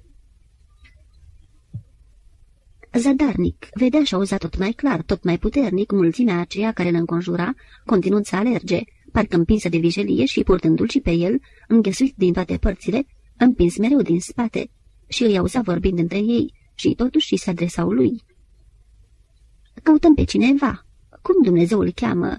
E cineva cunoscut. Îl cunoaște toată lumea. S-a vorbit mult de el. Nu-ți aduce aminte numele? A fugit tocmai când începuseră să-l bată cu vergile și sfărâmau degetele unul după altul, deget după deget. A fugit cu mâinile însângerate și s-a făcut nevăzut. Abia apucă să răsură stignească, a vorbit cineva, dar când i-au zdrobit mâinile, a țipat atât de puternic încât s-au trezit și atunci nu au mai văzut-o. Și așa a putut să coboare de pe cruce, dar a nevoie căci avea mâinile sfărâmate. A coborât și a fugit și de atunci o tot căutăm, dar nu mai dăm de ea. E absurd, e o eroare!" exclamă Ieronim. Ați confundat-o cu altcineva." Nu e nicio confuzie," auzi strigând pe cineva. Toată lumea îl știe, s-a vorbit mult de el. Cum Dumnezeu îl cheamă?" Ea n-are nicio vină," stăruie Ieronim. E o mare artistă. Cruțați-i mâinile, cântă la violoncel." Și exasperat amenință corul. Ce v-a apucat? V-ați pierdut mințile?" E o confuzie la mijloc, e o eroare. Treziți-vă, ea n-are nicio vină. Uitați-vă la ea, este aici, în fața voastră. Uitați-vă bine la ea. La început nu voia, era prea emoționată. Îi tremurau mâinile, nu-și mai putea stăpâni lacrimile. Dar a rugat-o maestro, a insistat. E o zi mare, spunea. Nu trebuie să pleci din casa asta supărată. Parcă vântul se întețise și părea rău, în primul rând pentru Maria, pentru că anumite note își pierdau puritatea. Dar când nu se auzea vântul, toamna, către miezul nopții, în casa aceasta pustie, cu mai toate ferestrele sparte, lipite cu jurnale sau acoperite cu cartoane, și în care aproape nicio ușă nu se închidea bine. Poate că niciodată nu-i simțise mai apăsător tristețea ca în noaptea când veniseră să-l caute la cafenea, se apropiaseră de masa unde juca șah, era în semifinală cu Zamfir, și, plecându-se mult spre el, ca să nu-l audă ceilalți, Gherghel îi șoptise că generalea sa e pe moarte, că ar trebui să vină imediat dacă vrea să o mai găsească în viață. Cu o jumătate de ceas mai înainte, chemase preotul, se spovedise și se împărtășise, și asta îi speriase pe toți. Dar lui Antin nu-i venea să creadă. Tot trăgea să moară de multe săptămâni de când orbise, și de câte ori se apropia de ea și o întreba cum se simte, generalea sa asculta tentă, cu mâinile împreunate, ca de obicei deasupra plăpumii, apoi deodată șoptea. Dar ce se aude, Manolache? De unde e melodia aceasta? Parcă nu mi-ai cântat-o niciodată până acum. Bine ai făcut că ți-ai adus violoncelul. Nu, nu, în general, nu l-am adus. Dar dacă vrei... Stai mai bine aici lângă mine și ascultă. De data aceasta, intrând în odaia în care ardea ca totdeauna o singură candelă și văzând-o cum strânge, parcă cu un mare efort, cu desnădejde lumânarea aprinsă în amândouă mâinile, a știut că sfârșitul e aproape. Îngenunche lângă ea și șopti. Am venit, nu general, sunt eu, Manolache. Fără să-și miște capul de pe pernă, cu o voce slabă, dar surprinzător de limpede, îl întrebă. Câți am mai rămas, Manolache?" Cinci, mon general. Tăcu multă vreme, parcă s-a fi trudit să numere în gând. Păziți-vă bine, a vorbit deodată. Păziți-vă bine că ni se stinge neamul. Apoi, spre uimirea tuturor, ceru să fie lăsată singură cu Ieronim. Au ieșit unul după altul, pășind în vârful picioarelor, rudele, vecinii, doctorul, preotul. Un sfert de ceas mai târziu, ușa se deschise și Ieronim apăru în prag și rămase nemișcat ca o statuie. S-a sfârșit, spuse privind drept înaintea lui fără să-i vadă. A apucat să-mi spună ce avea de spus și și-a dat duhul. Dumnezeu să o ierte! Ispucniră toți făcându-și cruce și îmbulzindu-se în odaie. Apoi începuseră să aprindă lumânări. De mai multe ori, chiar în noaptea aceea, în timp ce o vecheau, fusese ispitit să-l întrebe ce-i spusese, dar nu îndrăznise. Pentru întâia dată, Ieronim, care nu împlinise încă 17 ani, îl intimida. Parcă devenise deodată un alt om. Îngenunchea lângă pat, cu ochii deschiși, dar parcă nu vedea pe nimeni. Se ridica la răstimpuri și se ducea în salon, se plimba de la un capăt la altul, tăcut, palid, cu figura împietrită. Când câteva zile după înmormântare s-a dus la el în cameră și l-a întrebat, Ieronim s-a făcut deodată palid. Iată-mă, uncle Vania, i-am jurat că voi face așa cum mi-a cerut. Mi-a cerut să jur că nu voi spune nimănui.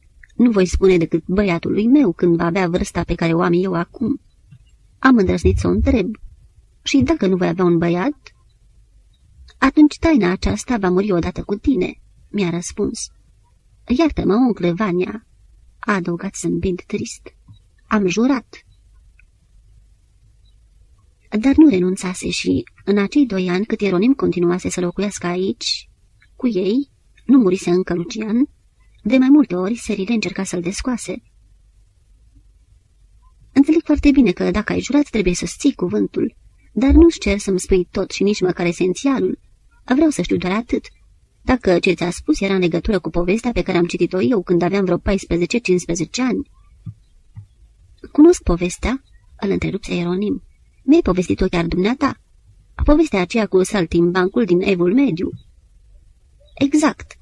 Te întreb asta pentru că generala să avea ideile ei.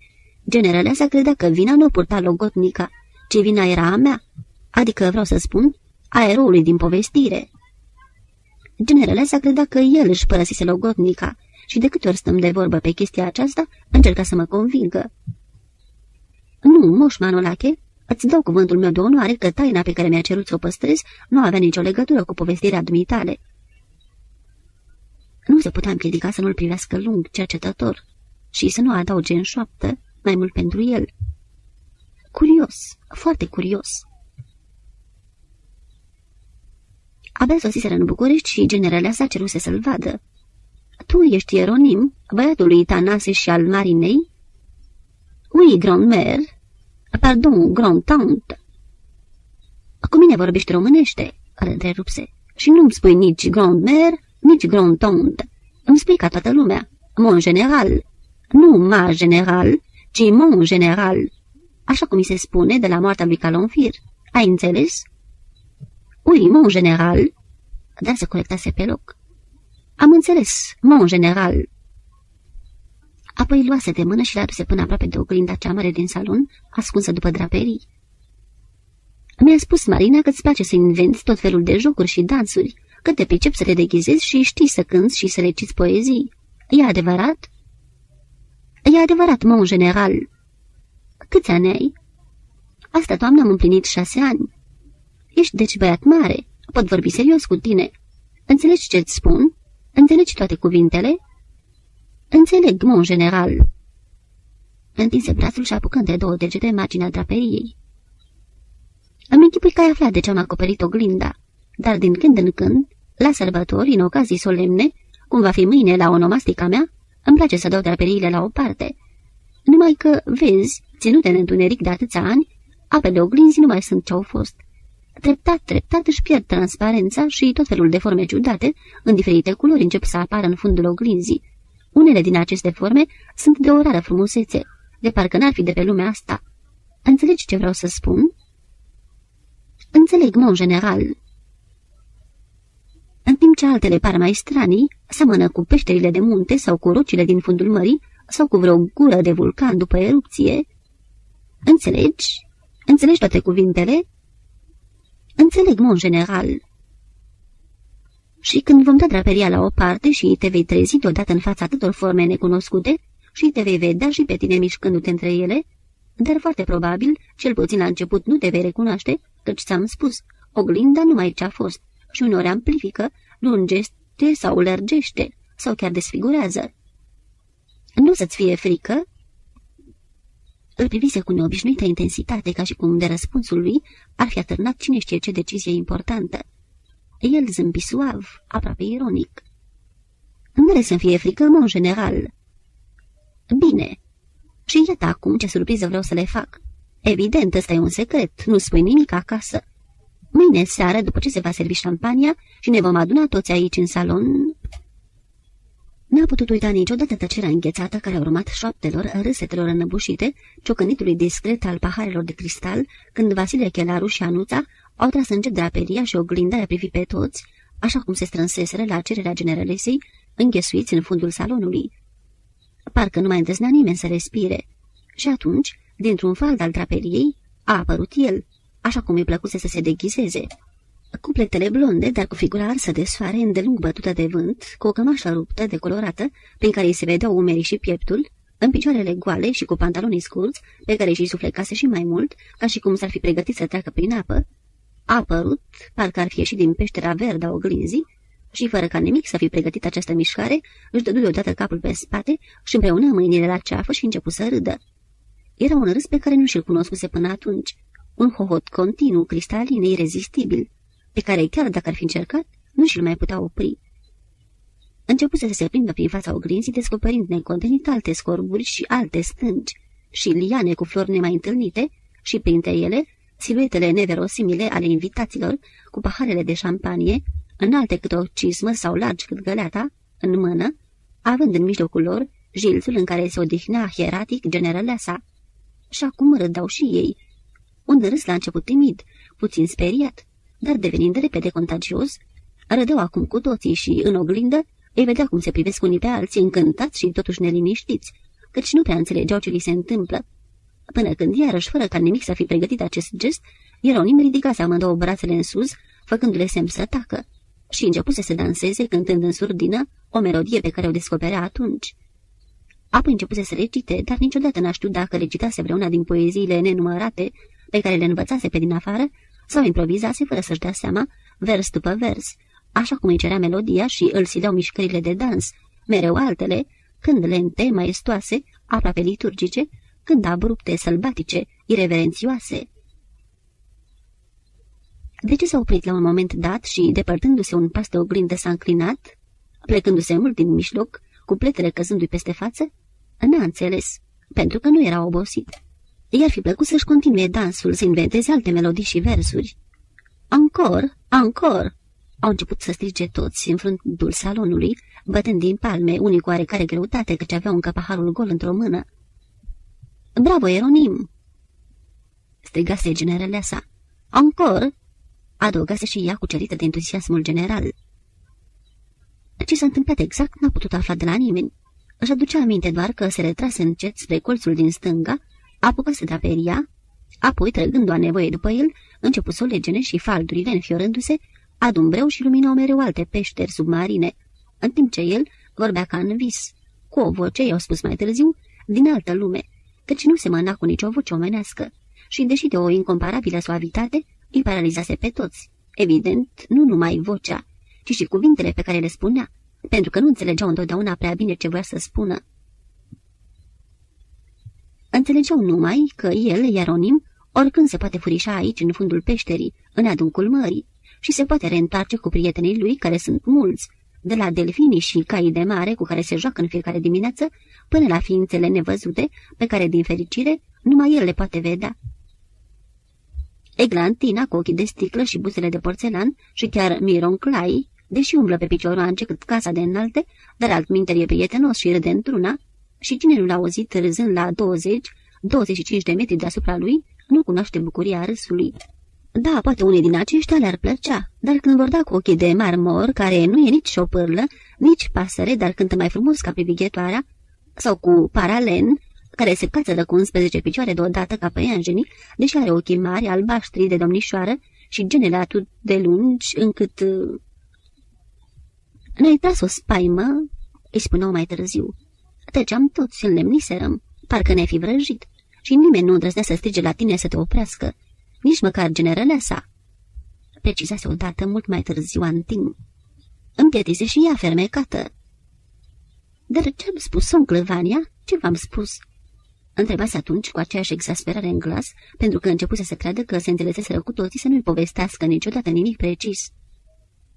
Cine le mai ține minte?" răspunse Antim, căci, îți repet, nu erau fraze și cuvinte de copil, cât ar fi fost el de precoce, ci parcă ar fi vorbit altcineva prin tine, vreun semizeu sau erou mitologic, sau unul din personajele acelea fabuloase care pretindeai că ți erau prieteni și cu care te întâlneai când voiai și unde voiai, nu numai în oglindă. Și acum pot să-ți spun, adăugase odată în timp. Mulți ani în urmă mi-a fost frică și nu numai mie. Ne-a fost frică să nu ți se întâmple ceva, să nu-ți pierzi mințile, căci o asemenea precocitate profundă și extravagantă în același timp se plătește. Și i-ați avut dreptate, îl întrerupse Ieronim zâmbind amar. Am plătit cu vârf și îndesat, căci în noaptea aceea familia a decretat că sunt copilul minune al secolului și tot atunci s-a decis să mă prezint neîntârziat directorului teatrului municipal. Și, spre nefericirea mea, Teodorini era bun prieten cu directorul teatrului. Am plătit oncle Vania pentru spaima pe care v-am tras-o noaptea aceea de Sfântul Ioan. Am plătit mai mult decât era drept să-i se ceară să plătească unui copil, chiar unui copil minune. Își aminti deodată că aria aceasta îi plăcea mult Melaniei și, fără să-și dea seama, zâmbi.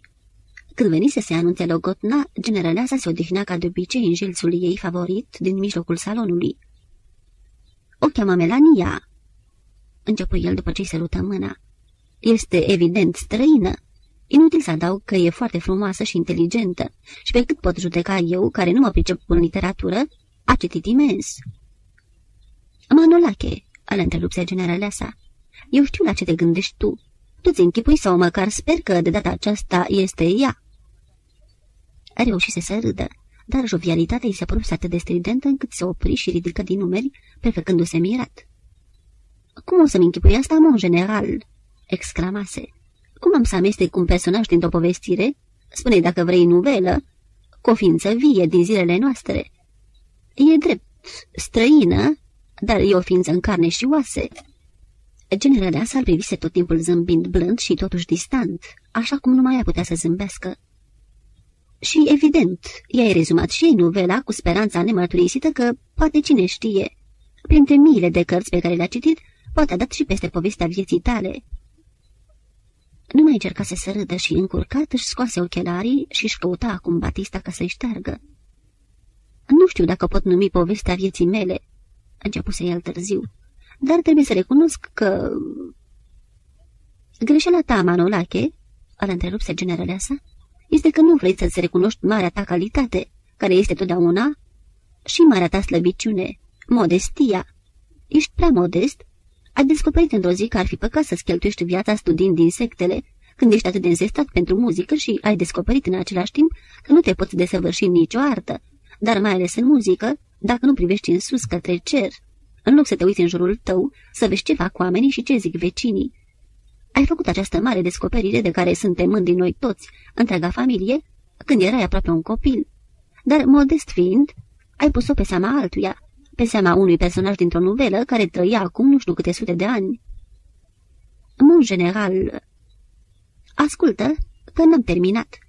Modestia este o însușire rară, mai ales în zilele noastre și mai cu seamă în familia noastră. Foarte bine dacă vrei concepe să-ți justifici concepția ta despre artă și viața pe care ai decis să o trăiești printr-un model literar. Unde nu te mai înțeleg, continuă după o scurtă tăcere, este legătura pe care o faci tu între idealul tău artistic și ea, femeia aceea care te-a părăsit acum câteva sute de ani.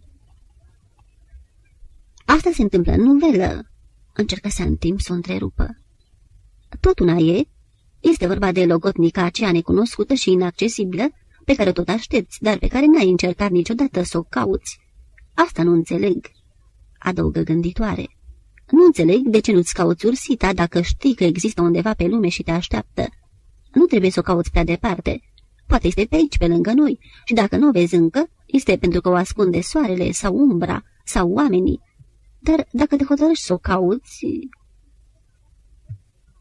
Toate acestea le știa sau le bănuia de mult.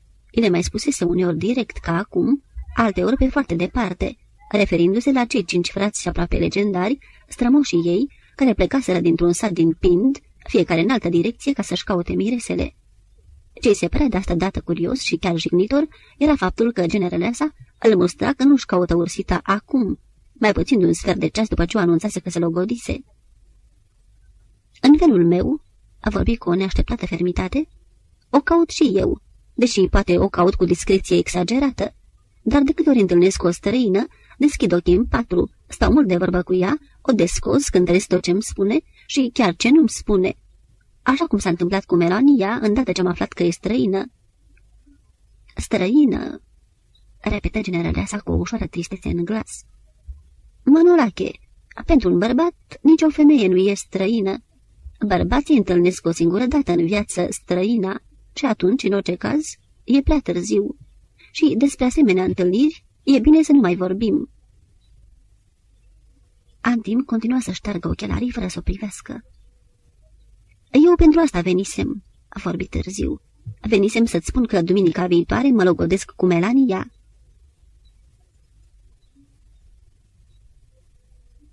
Așa i se întâmpla și altă dată când lăsa ușa deschisă și l-asculta pe Antim exersând aici în salon. După câteva minute se trezea că ascultă corul, povestindu ce se va întâmpla în scena următoare sau cum ar fi trebuit să se întâmple lucrurile în piesa pe care o citise chiar în ziua aceea. Pe malul mării, o plajă pustie pe malul Mării Negre, anunța corul, într-o seară de noiembrie. Și totuși, intervenea Ieronim. Autorul scrie limpede că scena reprezintă curtea unei case de țară, într-o dimineață de iunie, și la ridicarea cortinei s-aude de departe vocea unui bărbat.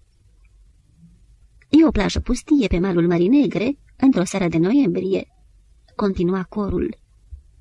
Și mult timp după ridicarea cortinei nu se aude decât vântul. Vă să zic că aici erai?" Îl trezea vocea lui Lucian. Tot îl asculți? Îl asculți mereu? Nu te plictisești să asculți mereu aceeași melodie?" Se oprea în prag și numai rare ori intra în odaie. Avea obiceiul să spună repede ce avea de spus în prag și apoi dispărea. Își continua plimbarea lui leneșă, melancolică, din încăpere în încăpere prin toată casa. Iar am visat-o pe Veronica, îi spusese în ziua aceea. Ascultă-mă pe mine, nu mai duc mult. Îmi vine și mie rândul. Curând, curând, o să rămâneți numai voi doi, singuri pe lume. Și atunci mă tot întreb, ce o să vă faceți fără mine? Dispăruse înainte ca să aibă timp să spună ceva și așa cum se aștepta, corul răspundea în locul lui. De ce ți-e frică de moarte, Lucian? Adu-ți aminte ce ne spunea generalea sa. Îmi place de voi că nu vă e frică de nimic, nici de moarte, nici de dragoste. Se vede că sunteți nepoți de erou. Îi mai spusese asta dată după ce orbise. Îmi place de tine, Ieronim, că nu ți-e frică de nimic. O repetase și lui Antim. Intrase odată la el în odaie cu un zâmbet misterios, luminându-i fața. Ieronim, știi ce mi-a spus de tine generaleasa pe patul de moarte? Mi-a spus. Cum se vede că Ieronim e nepot de erou? Știu, mi-a spus-o și mie. N-am voie să o contrazic pentru că asta îi face plăcere. Dar adevărul este altul, oncle Vania. Nu mi-e frică de nimic și, în primul rând, nu mi-e frică nici de dragoste, nici de moarte, pentru că după tot ce ni s-a întâmplat și mi s-a întâmplat, am redescoperit sensul și funcția spectacolului, așa cum le știam de copil. Ar fi vrut să continue, dar auzit odată corul. Acestea nu sunt informații de toate zilele asemenea celor pe care le cer și le afli la orice ghișou de poștă, de bancă sau de gară. Acesta este adevărul, Ieronim, adevărul. Și totuși, foarte curând după aceea, a încercat să explice. Intând pe neașteptate în salon, îl găsise pe Antim cu violoncelul rezemat de genunchiul stâng, privind absent în fața lui. Stătea așa probabil de mult timp, pentru că Ieronim, văzând că tăcerea se prelungește, crezuse că Antim plecase în oraș dar îl găsise la locul lui obișnuit cu violoncelul lângă el, cu privirile pierdute. Încep să îmbătrânesc, îi spuse încercând să zâmbească. Am prea multe amintiri. Un artist nu îmbătrânește niciodată, oncle Vania, al întrerupse Ieronim, brusc emoționat. Dacă ne-a pedepsit și pe noi Dumnezeu cu ceva, ne-a pedepsit cu tinerețe fără de bătrânețe. Recunosc, pedepsa e grea, dar ce putem face? Asta ne-a fost ursita. Tinerețe fără de bătrânețe, a repetat Antim zâmbind. ușor de spus la vârsta ta. Avem amândoi aceeași vârstă, oncle Vania, continuă Ieronim genunchind lângă el. Numai că dumneata ai amintiri, iar eu mi le imaginez. Și dacă ți-aș spune că amintirile mele întrec de multe sute de ori pe ale dumitale, pur și simplu pentru că mi le-am imaginat, n-ai să mă crezi. Antim își așeză violoncelul alături și pe neașteptate începu să râdă. Spune-mi și mie cum faci?" îl întrebă. Cum faci să-ți imaginezi amintirile?" Întâi le imaginez și apoi mi le amintesc. Probabil că și dumneata ți-ai imaginat multe în viața dumitale, dar le-ai uitat. Nu-ți amintești decât ce ți s-a întâmplat, cum se spune, personal. Dar astea, maestro, pentru noi artiștii, nu au valoarea pe care o au pentru ceilalți. Se ridică brusc în picioare și, așa cum era obiceiul când presimțea că va spune lucruri pe care le evitase până atunci, început să se plimbe cu pași mari prin salon. Îți mărturisisem odată că dacă nu mi-e frică de nimic, nu este pentru că sunt nepot de erou, ci pentru că am redescoperit sensul și funcția spectacolului. Dar nu ți-am spus ce înseamnă asta pentru mine. A nu-ți fi frică de nimic înseamnă a privi tot ce se petrece în lume ca spectacol. Asta înseamnă că putem interveni oricând prin imaginație și putem modifica spectacolul așa cum vrem noi. Prin imaginație, repeta în timp tot mai bine dispus, adică în mintea noastră, dar asta nu schimbă realitatea, ce se întâmplă cu adevărat în noi și în jurul nostru. Ieronim se opri în fața lui și îl privi surprins, ca și cum n-ar fi fost sigur că l-a auzit bine. Depinde ce înțelegi prin realitate," spuse. Pentru mine, realitatea este adevărul total, adică ceea ce ne este dat să cunoaștem numai după moarte. Dar arta și în special teatrul, spectacolul, ne revelează acest adevăr în tot ce se întâmplă în jurul nostru și mai ales în tot ce ne putem imagina că se întâmplă. În fond, teatrul, ca și filozofia, este o pregătire pentru moarte. Cu deosebirea pentru mine capitală că spectacolul anticipează revelația morții, pentru că îți arată toate acestea aici, pe pământ, în viața de toate zilele. Ieronim, nu te mai înțeleg. Și îi se păru că zâmbetul care luminase începe să se șteargă și privirile se pregătesc să se depărteze, gata să se piardă, absente în gol. Pentru că dumneata, oncle Vania, continuă Ieronim cu un alt glas, mai blând și totuși mai solemn, dumneata te încăpățânezi să reduci înțelegerea la exercițiul rațiunii ca la șah. Dar știi foarte bine că nici arta, nici viața nu pot fi înțelese numai prin rațiune. Orice se întâmplă în jurul nostru ar putea camufla un mister, așadar o revelație decisivă, un adevăr cutremurător. Bună oară, orice porumbel ar putea camufla... Va să zic că iar v-ați apucat de filozofie. Îl auzi pe Lucian din Prag. Ferice de voi, adăugase îndreptându-se agale spre fotorul generalesei. Se așeză oftând adânc. Nu știu ce am, nu mă simt bine. Dar voi vedeți-vă de treabă. Continuați-vă discuția. De atunci îl tot auzea. Nu știu ce am, nu mă doare nimic, dar mă simt obosit, foarte obosit. De când nu se mai plimba din încăpere în încăpere prin toată casa, îi plăcea și lui să lase ușa deschisă, să-l asculte pe Antim. Apoi, într-o seară, când Ieronim se apropiase de patul lui cu cartea deschisă, să-și continue lectura întreruptă cu o jumătate de ceas mai înainte, Lucian îi făcut semn, mișcându-și încet, obosit mâna dreaptă. Ieronim, șopti, eu nu mai am mult. Îți spun asta foarte simplu, pentru că, așa cum știi și tu, nu mi-a fost frică de dragoste și nu mi-e frică nici de moarte. Dar vreau să-ți dau un sfat și vreau de asemenea să te rog ceva. Sfatul e acesta. Când eu nu-i mai fi, te duci și locuiești în casa lui Tanase, acolo unde ai copilărit. M-am înțeles cu chiriașii. Ei vor fi bucuroși să-ți cedeze cele două odei de la etaj, că tot riscă să le ocupe altcineva. Și evident, te preferă pe tine, care într-un anumit fel ești încă proprietar. Și oncle Vania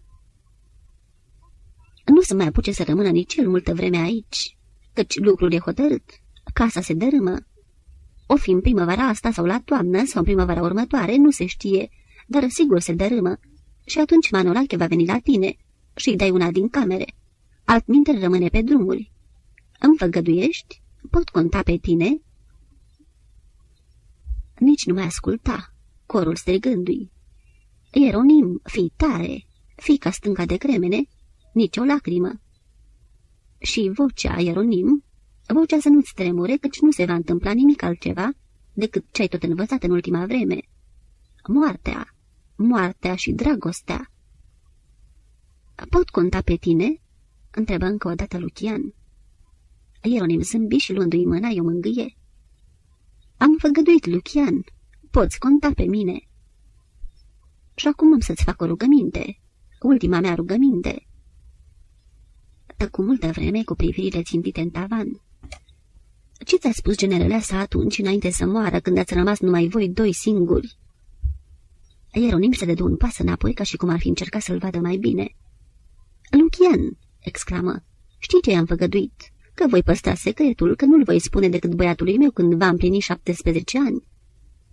Știam asta," îl întrerupse calm Lucian. Dar pe mine mă poți deja elimina din numărul celor vii." Ieronim se apropie din nou de pat. Dar, Lucian, începu el încercând să-și stăpânească emoția. Eu, din noaptea aceea de când m-a chemat generaleasa lângă ea, nu fac decât asta, să vă vorbesc despre ce mi-a destăinuit ea.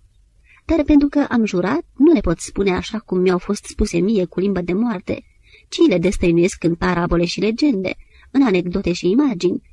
De când s-a prăpădit generaleasa, eu nu fac altceva, nu pot face altceva decât să vă spun, dar valate ca într-o oglindă veche, cum a fost oglinda noastră, nu pot face altceva decât să vorbesc în imagini și parabole de taina care mi-a fost încredințată. Și nu numai vouă, familiei și prietenilor, ci și celor pe care îi întâlnesc din întâmplare. Sunt uneori ispitiți să opresc oamenii pe stradă, evident, nu pe oricine, dar anumiți oameni în care mi se pare că ghicesc un anumit semn. În sfârșit, asta e altă poveste. Dar, Lucian, eu numai despre asta vorbesc. Dacă n-aș fi vorbit, mi-aș fi pierdut mințile. Lucian îl ascultase turburat și totuși un zâmbet se ivi timid pe buze. Atunci trebuie să-mi dau silință să te ascult cu mai multă atenție. Șoptii continuă să zâmbească și să încerc să descifrez enigmele, dar nu știu dacă voi mai avea timp. Mă simt foarte obosit. Tinerețe, tinerețe fără de bătrânețe, repeta în timp. Abia apucase să sărute pe amândoi obrajii și iconarul cu cutia sub braț se repezise spre el, îi mulțumi strângându-i mâna și plecându-și respectuos fruntea. Dar aproape de ușă, Ieronim îl ajunse din urmă și l opri. Cum, vrei să pleci?" Poate mai găsesc pe borban lucrând și îmi deschide pe din dos." Vrei să pleci?" îl întrerupse Ieronim. Când nici n-am intrat încă în miezul problemei, n-am discutat nici măcar existența lui Dumnezeu." E târziu și gazda se face foc dacă îl trezim din somn. În niciun caz nu poți umbla noaptea pe stradă îmbrăcat în uniforma asta de general. Dacă te vede vreun sergent, te arestează. Trebuie să-ți găsim alte haine." Îl auziră urcând în goană scara spre pod, apoi îi auziră pașii călcând de asta dată fără grijă și în mare grabă și câteva minute în urmă se întoarse cu brațele încărcate. Cu noftate ușurare își revărsă poverile pe canapea. Adusese fotele, maramele și broboadele pe care le examinase pendelete cu două ceasuri mai înainte, dar adusese și rochea de mireasă. Asta este pentru dumneata, prinses," se adresă Mariei, întinzându-i rochea la picioare ca un covor. Este aproape o piesă de muzeu, așa că îi poți neglija simbolismul. A fost croită cândva ca să împodobească o mireasă, dar în noaptea asta, potrivită cu oarecare imaginație în jurul umerilor dumitale, îți va ține cald. Ieronim, iar ai să o superi, spuse în gluma în timp. Maria șterse ultimele lacrimi cu podul palmei și zâmbi. Nu mai mă supăr, maestre, șopti. Într-o zi ca asta nu mă pot supăra. Iconarul continua să caute fără entuziasm prin maldărul de stofe. Toate astea le cunosc, a vorbit dezamăgit. Sunt doar pentru cucoane. Dar țin de cald, îl întrerupse Ieronim, alegându-i una din fote și așezându-i-o pe umeri. Iar pe deasupra, ca să nu se vadă... Ieși iar pe coridor și curând se întoarse cu o pelerină. Pe deasupra, continuă, punem pelerina asta. E drept cam veche și probabil prăfuită, dacă nu cumva găurită de molii. Începu să o scuture, cercetându-o de aproape. Se face târziu, spuse iconarul luându-și iarăși cutia sub braț. Nu stau departe și, dacă pornesc în pas alergător, nu răcesc. Ca și cum nu l-ar fi auzit, Ieronim îi potrivi cu îndemânare pelerina peste fota care îi acoperea umerii. Îl ducem întâi pe el acasă, se adresă Mariei, ca să vedem dacă mai poate intra. Dacă Borban n-a stins lumina, îl întrerupse iconarul, îmi deschide pe din dos. Iar noi, continuă Ieronim, noi plecăm apoi să ne plimbăm pe străzi. Avem atâta de discutat. Cu gesturi scurte, înfășură rochea de mirează și, asemenea unui șal, Ion coloci în jurul lumerilor. Apoi zbucniră toți în râs. Tinerețe!" exclamă încă o dată Antim, însoțindu-i în coridor. Încuind ușa, l auzi pe Ieronim. Prinses, dacă crezi cu adevărat în Dumnezeu... De-abia după ce se așezase istovit în fotoliul generalesei, și-a dus aminte că uitase să le ofere în paharele minuscule, rezervate numai pentru asemenea ocazii, faimosul Grand Armagnac 1908, din ultima sticlă care îi mai rămăsese. Tinerețe fără de bătrânețe, își repetă ironic clătinând din cap. Fără de bătrânețe. Voi să se ridice, să caute în dulap și să-și umple măcar paharul lui, să bea singur în sănătatea lor, dar își simta picioarele grele ca de plumb și se hotărâ să se odihnească puțin, doar câteva clipe. Zâmbind își rezemă capul de speteaza jilțului și își apropie plapele. Va trebui să procedeze ca în ocaziile mari, solemne, să aplice cum îi plăcea să spună, ceremonialul, adică să țină câteva secunde paharul de cristal în dreptul ochilor, privind prin licoarea de aur și aramă, și apoi să-l înalțe și, urându-le noroc, să-l apropie de buze și să soarbă cât va putea mai încet.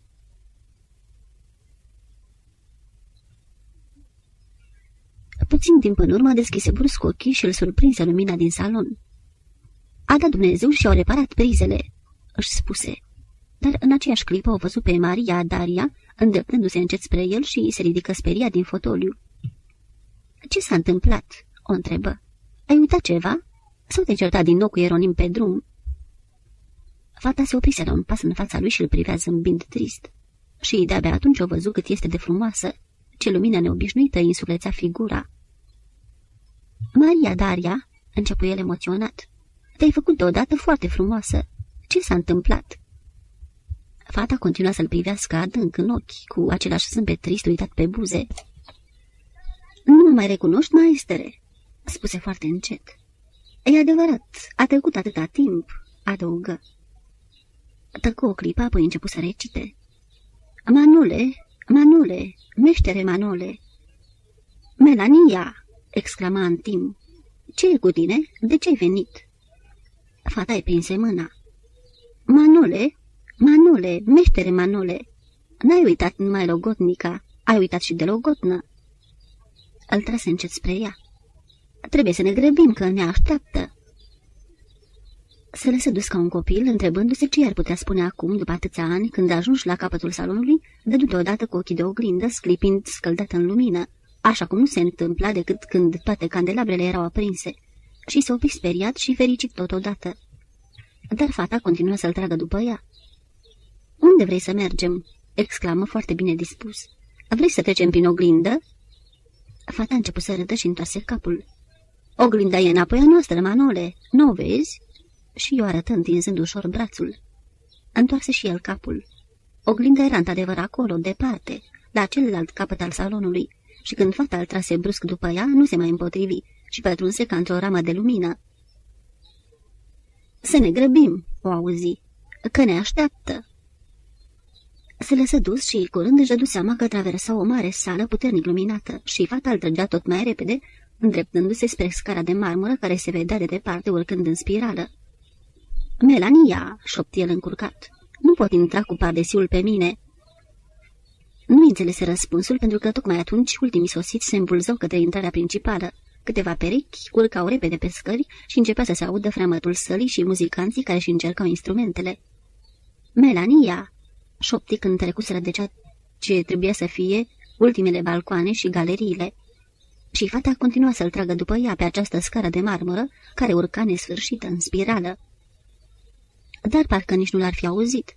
Ușile se închiseseră Fremătul sării începuse să se potolească. Nu se mai auzau decât sunetele scurte ale unei trompete. Melania!" exclamă și voi să se oprească. Zâmbind, fata se întoarse spre el. Nu-mi sono Melania, maestro?" șopti. În acea clipă o recunoscut și-și aminti tot, de la întâlnirea lor în fața gării, când a ajutat-o să-și șurce valizele în vaporeto, până în seara când, strângându-i mâna în mâinile lui, îi spusese Ti voglio bene, Letizia. Vrei să ne logodim? Acum, chiar acum, în grădina asta?" Împlinise chiar în seara aceea 19 ani. Îl privea cu același zâmbet trist pe care l avusese Maria Daria și Melania. Trebuie să ne grăbim," îi spuse, că ne așteaptă. Atunci începură să se audă aplauze și, după câteva clipe, sala întreagă amuțind o tăcere reculeasă. Emoționat, Antim auzi vagheta lovind de trei ori scurt în pupitru. E târziu," continuă fata încercând să-l tragă după ea. Ne așteaptă ceilalți." Numai o clipă," o imploră în șoaptă Antim. Numai o clipă, să văd ce o să cânte." Ne așteaptă," repetă fata cu o surdă desnădejde în glas. Încercase din nou să-l tragă după ea, dar cu un gest brusc, Antim izbuti să-și elibereze mâna. Auzi iarăși cele trei bătăi scurte ale baghetei în pupitru, apoi aceeași tăcere împietită a sălii, pelungindu-se nefiresc. De ce nu o fi începând? Ce mai așteaptă?" o întrebă. Dar nu era nimeni lângă el și Antim întoarse speriat capul în toate părțile. Atunci parcă ar fi apărut de după colona de marmură generalea sa. Manolache, asta era? Logotnica? Străina? Ea era? Repetă după o pauză. I se păru că ghicește o urmă de ironie în glas și își plecă intimidat privirile. Ea era, mon general, Chicago, New York, decembrie 1971.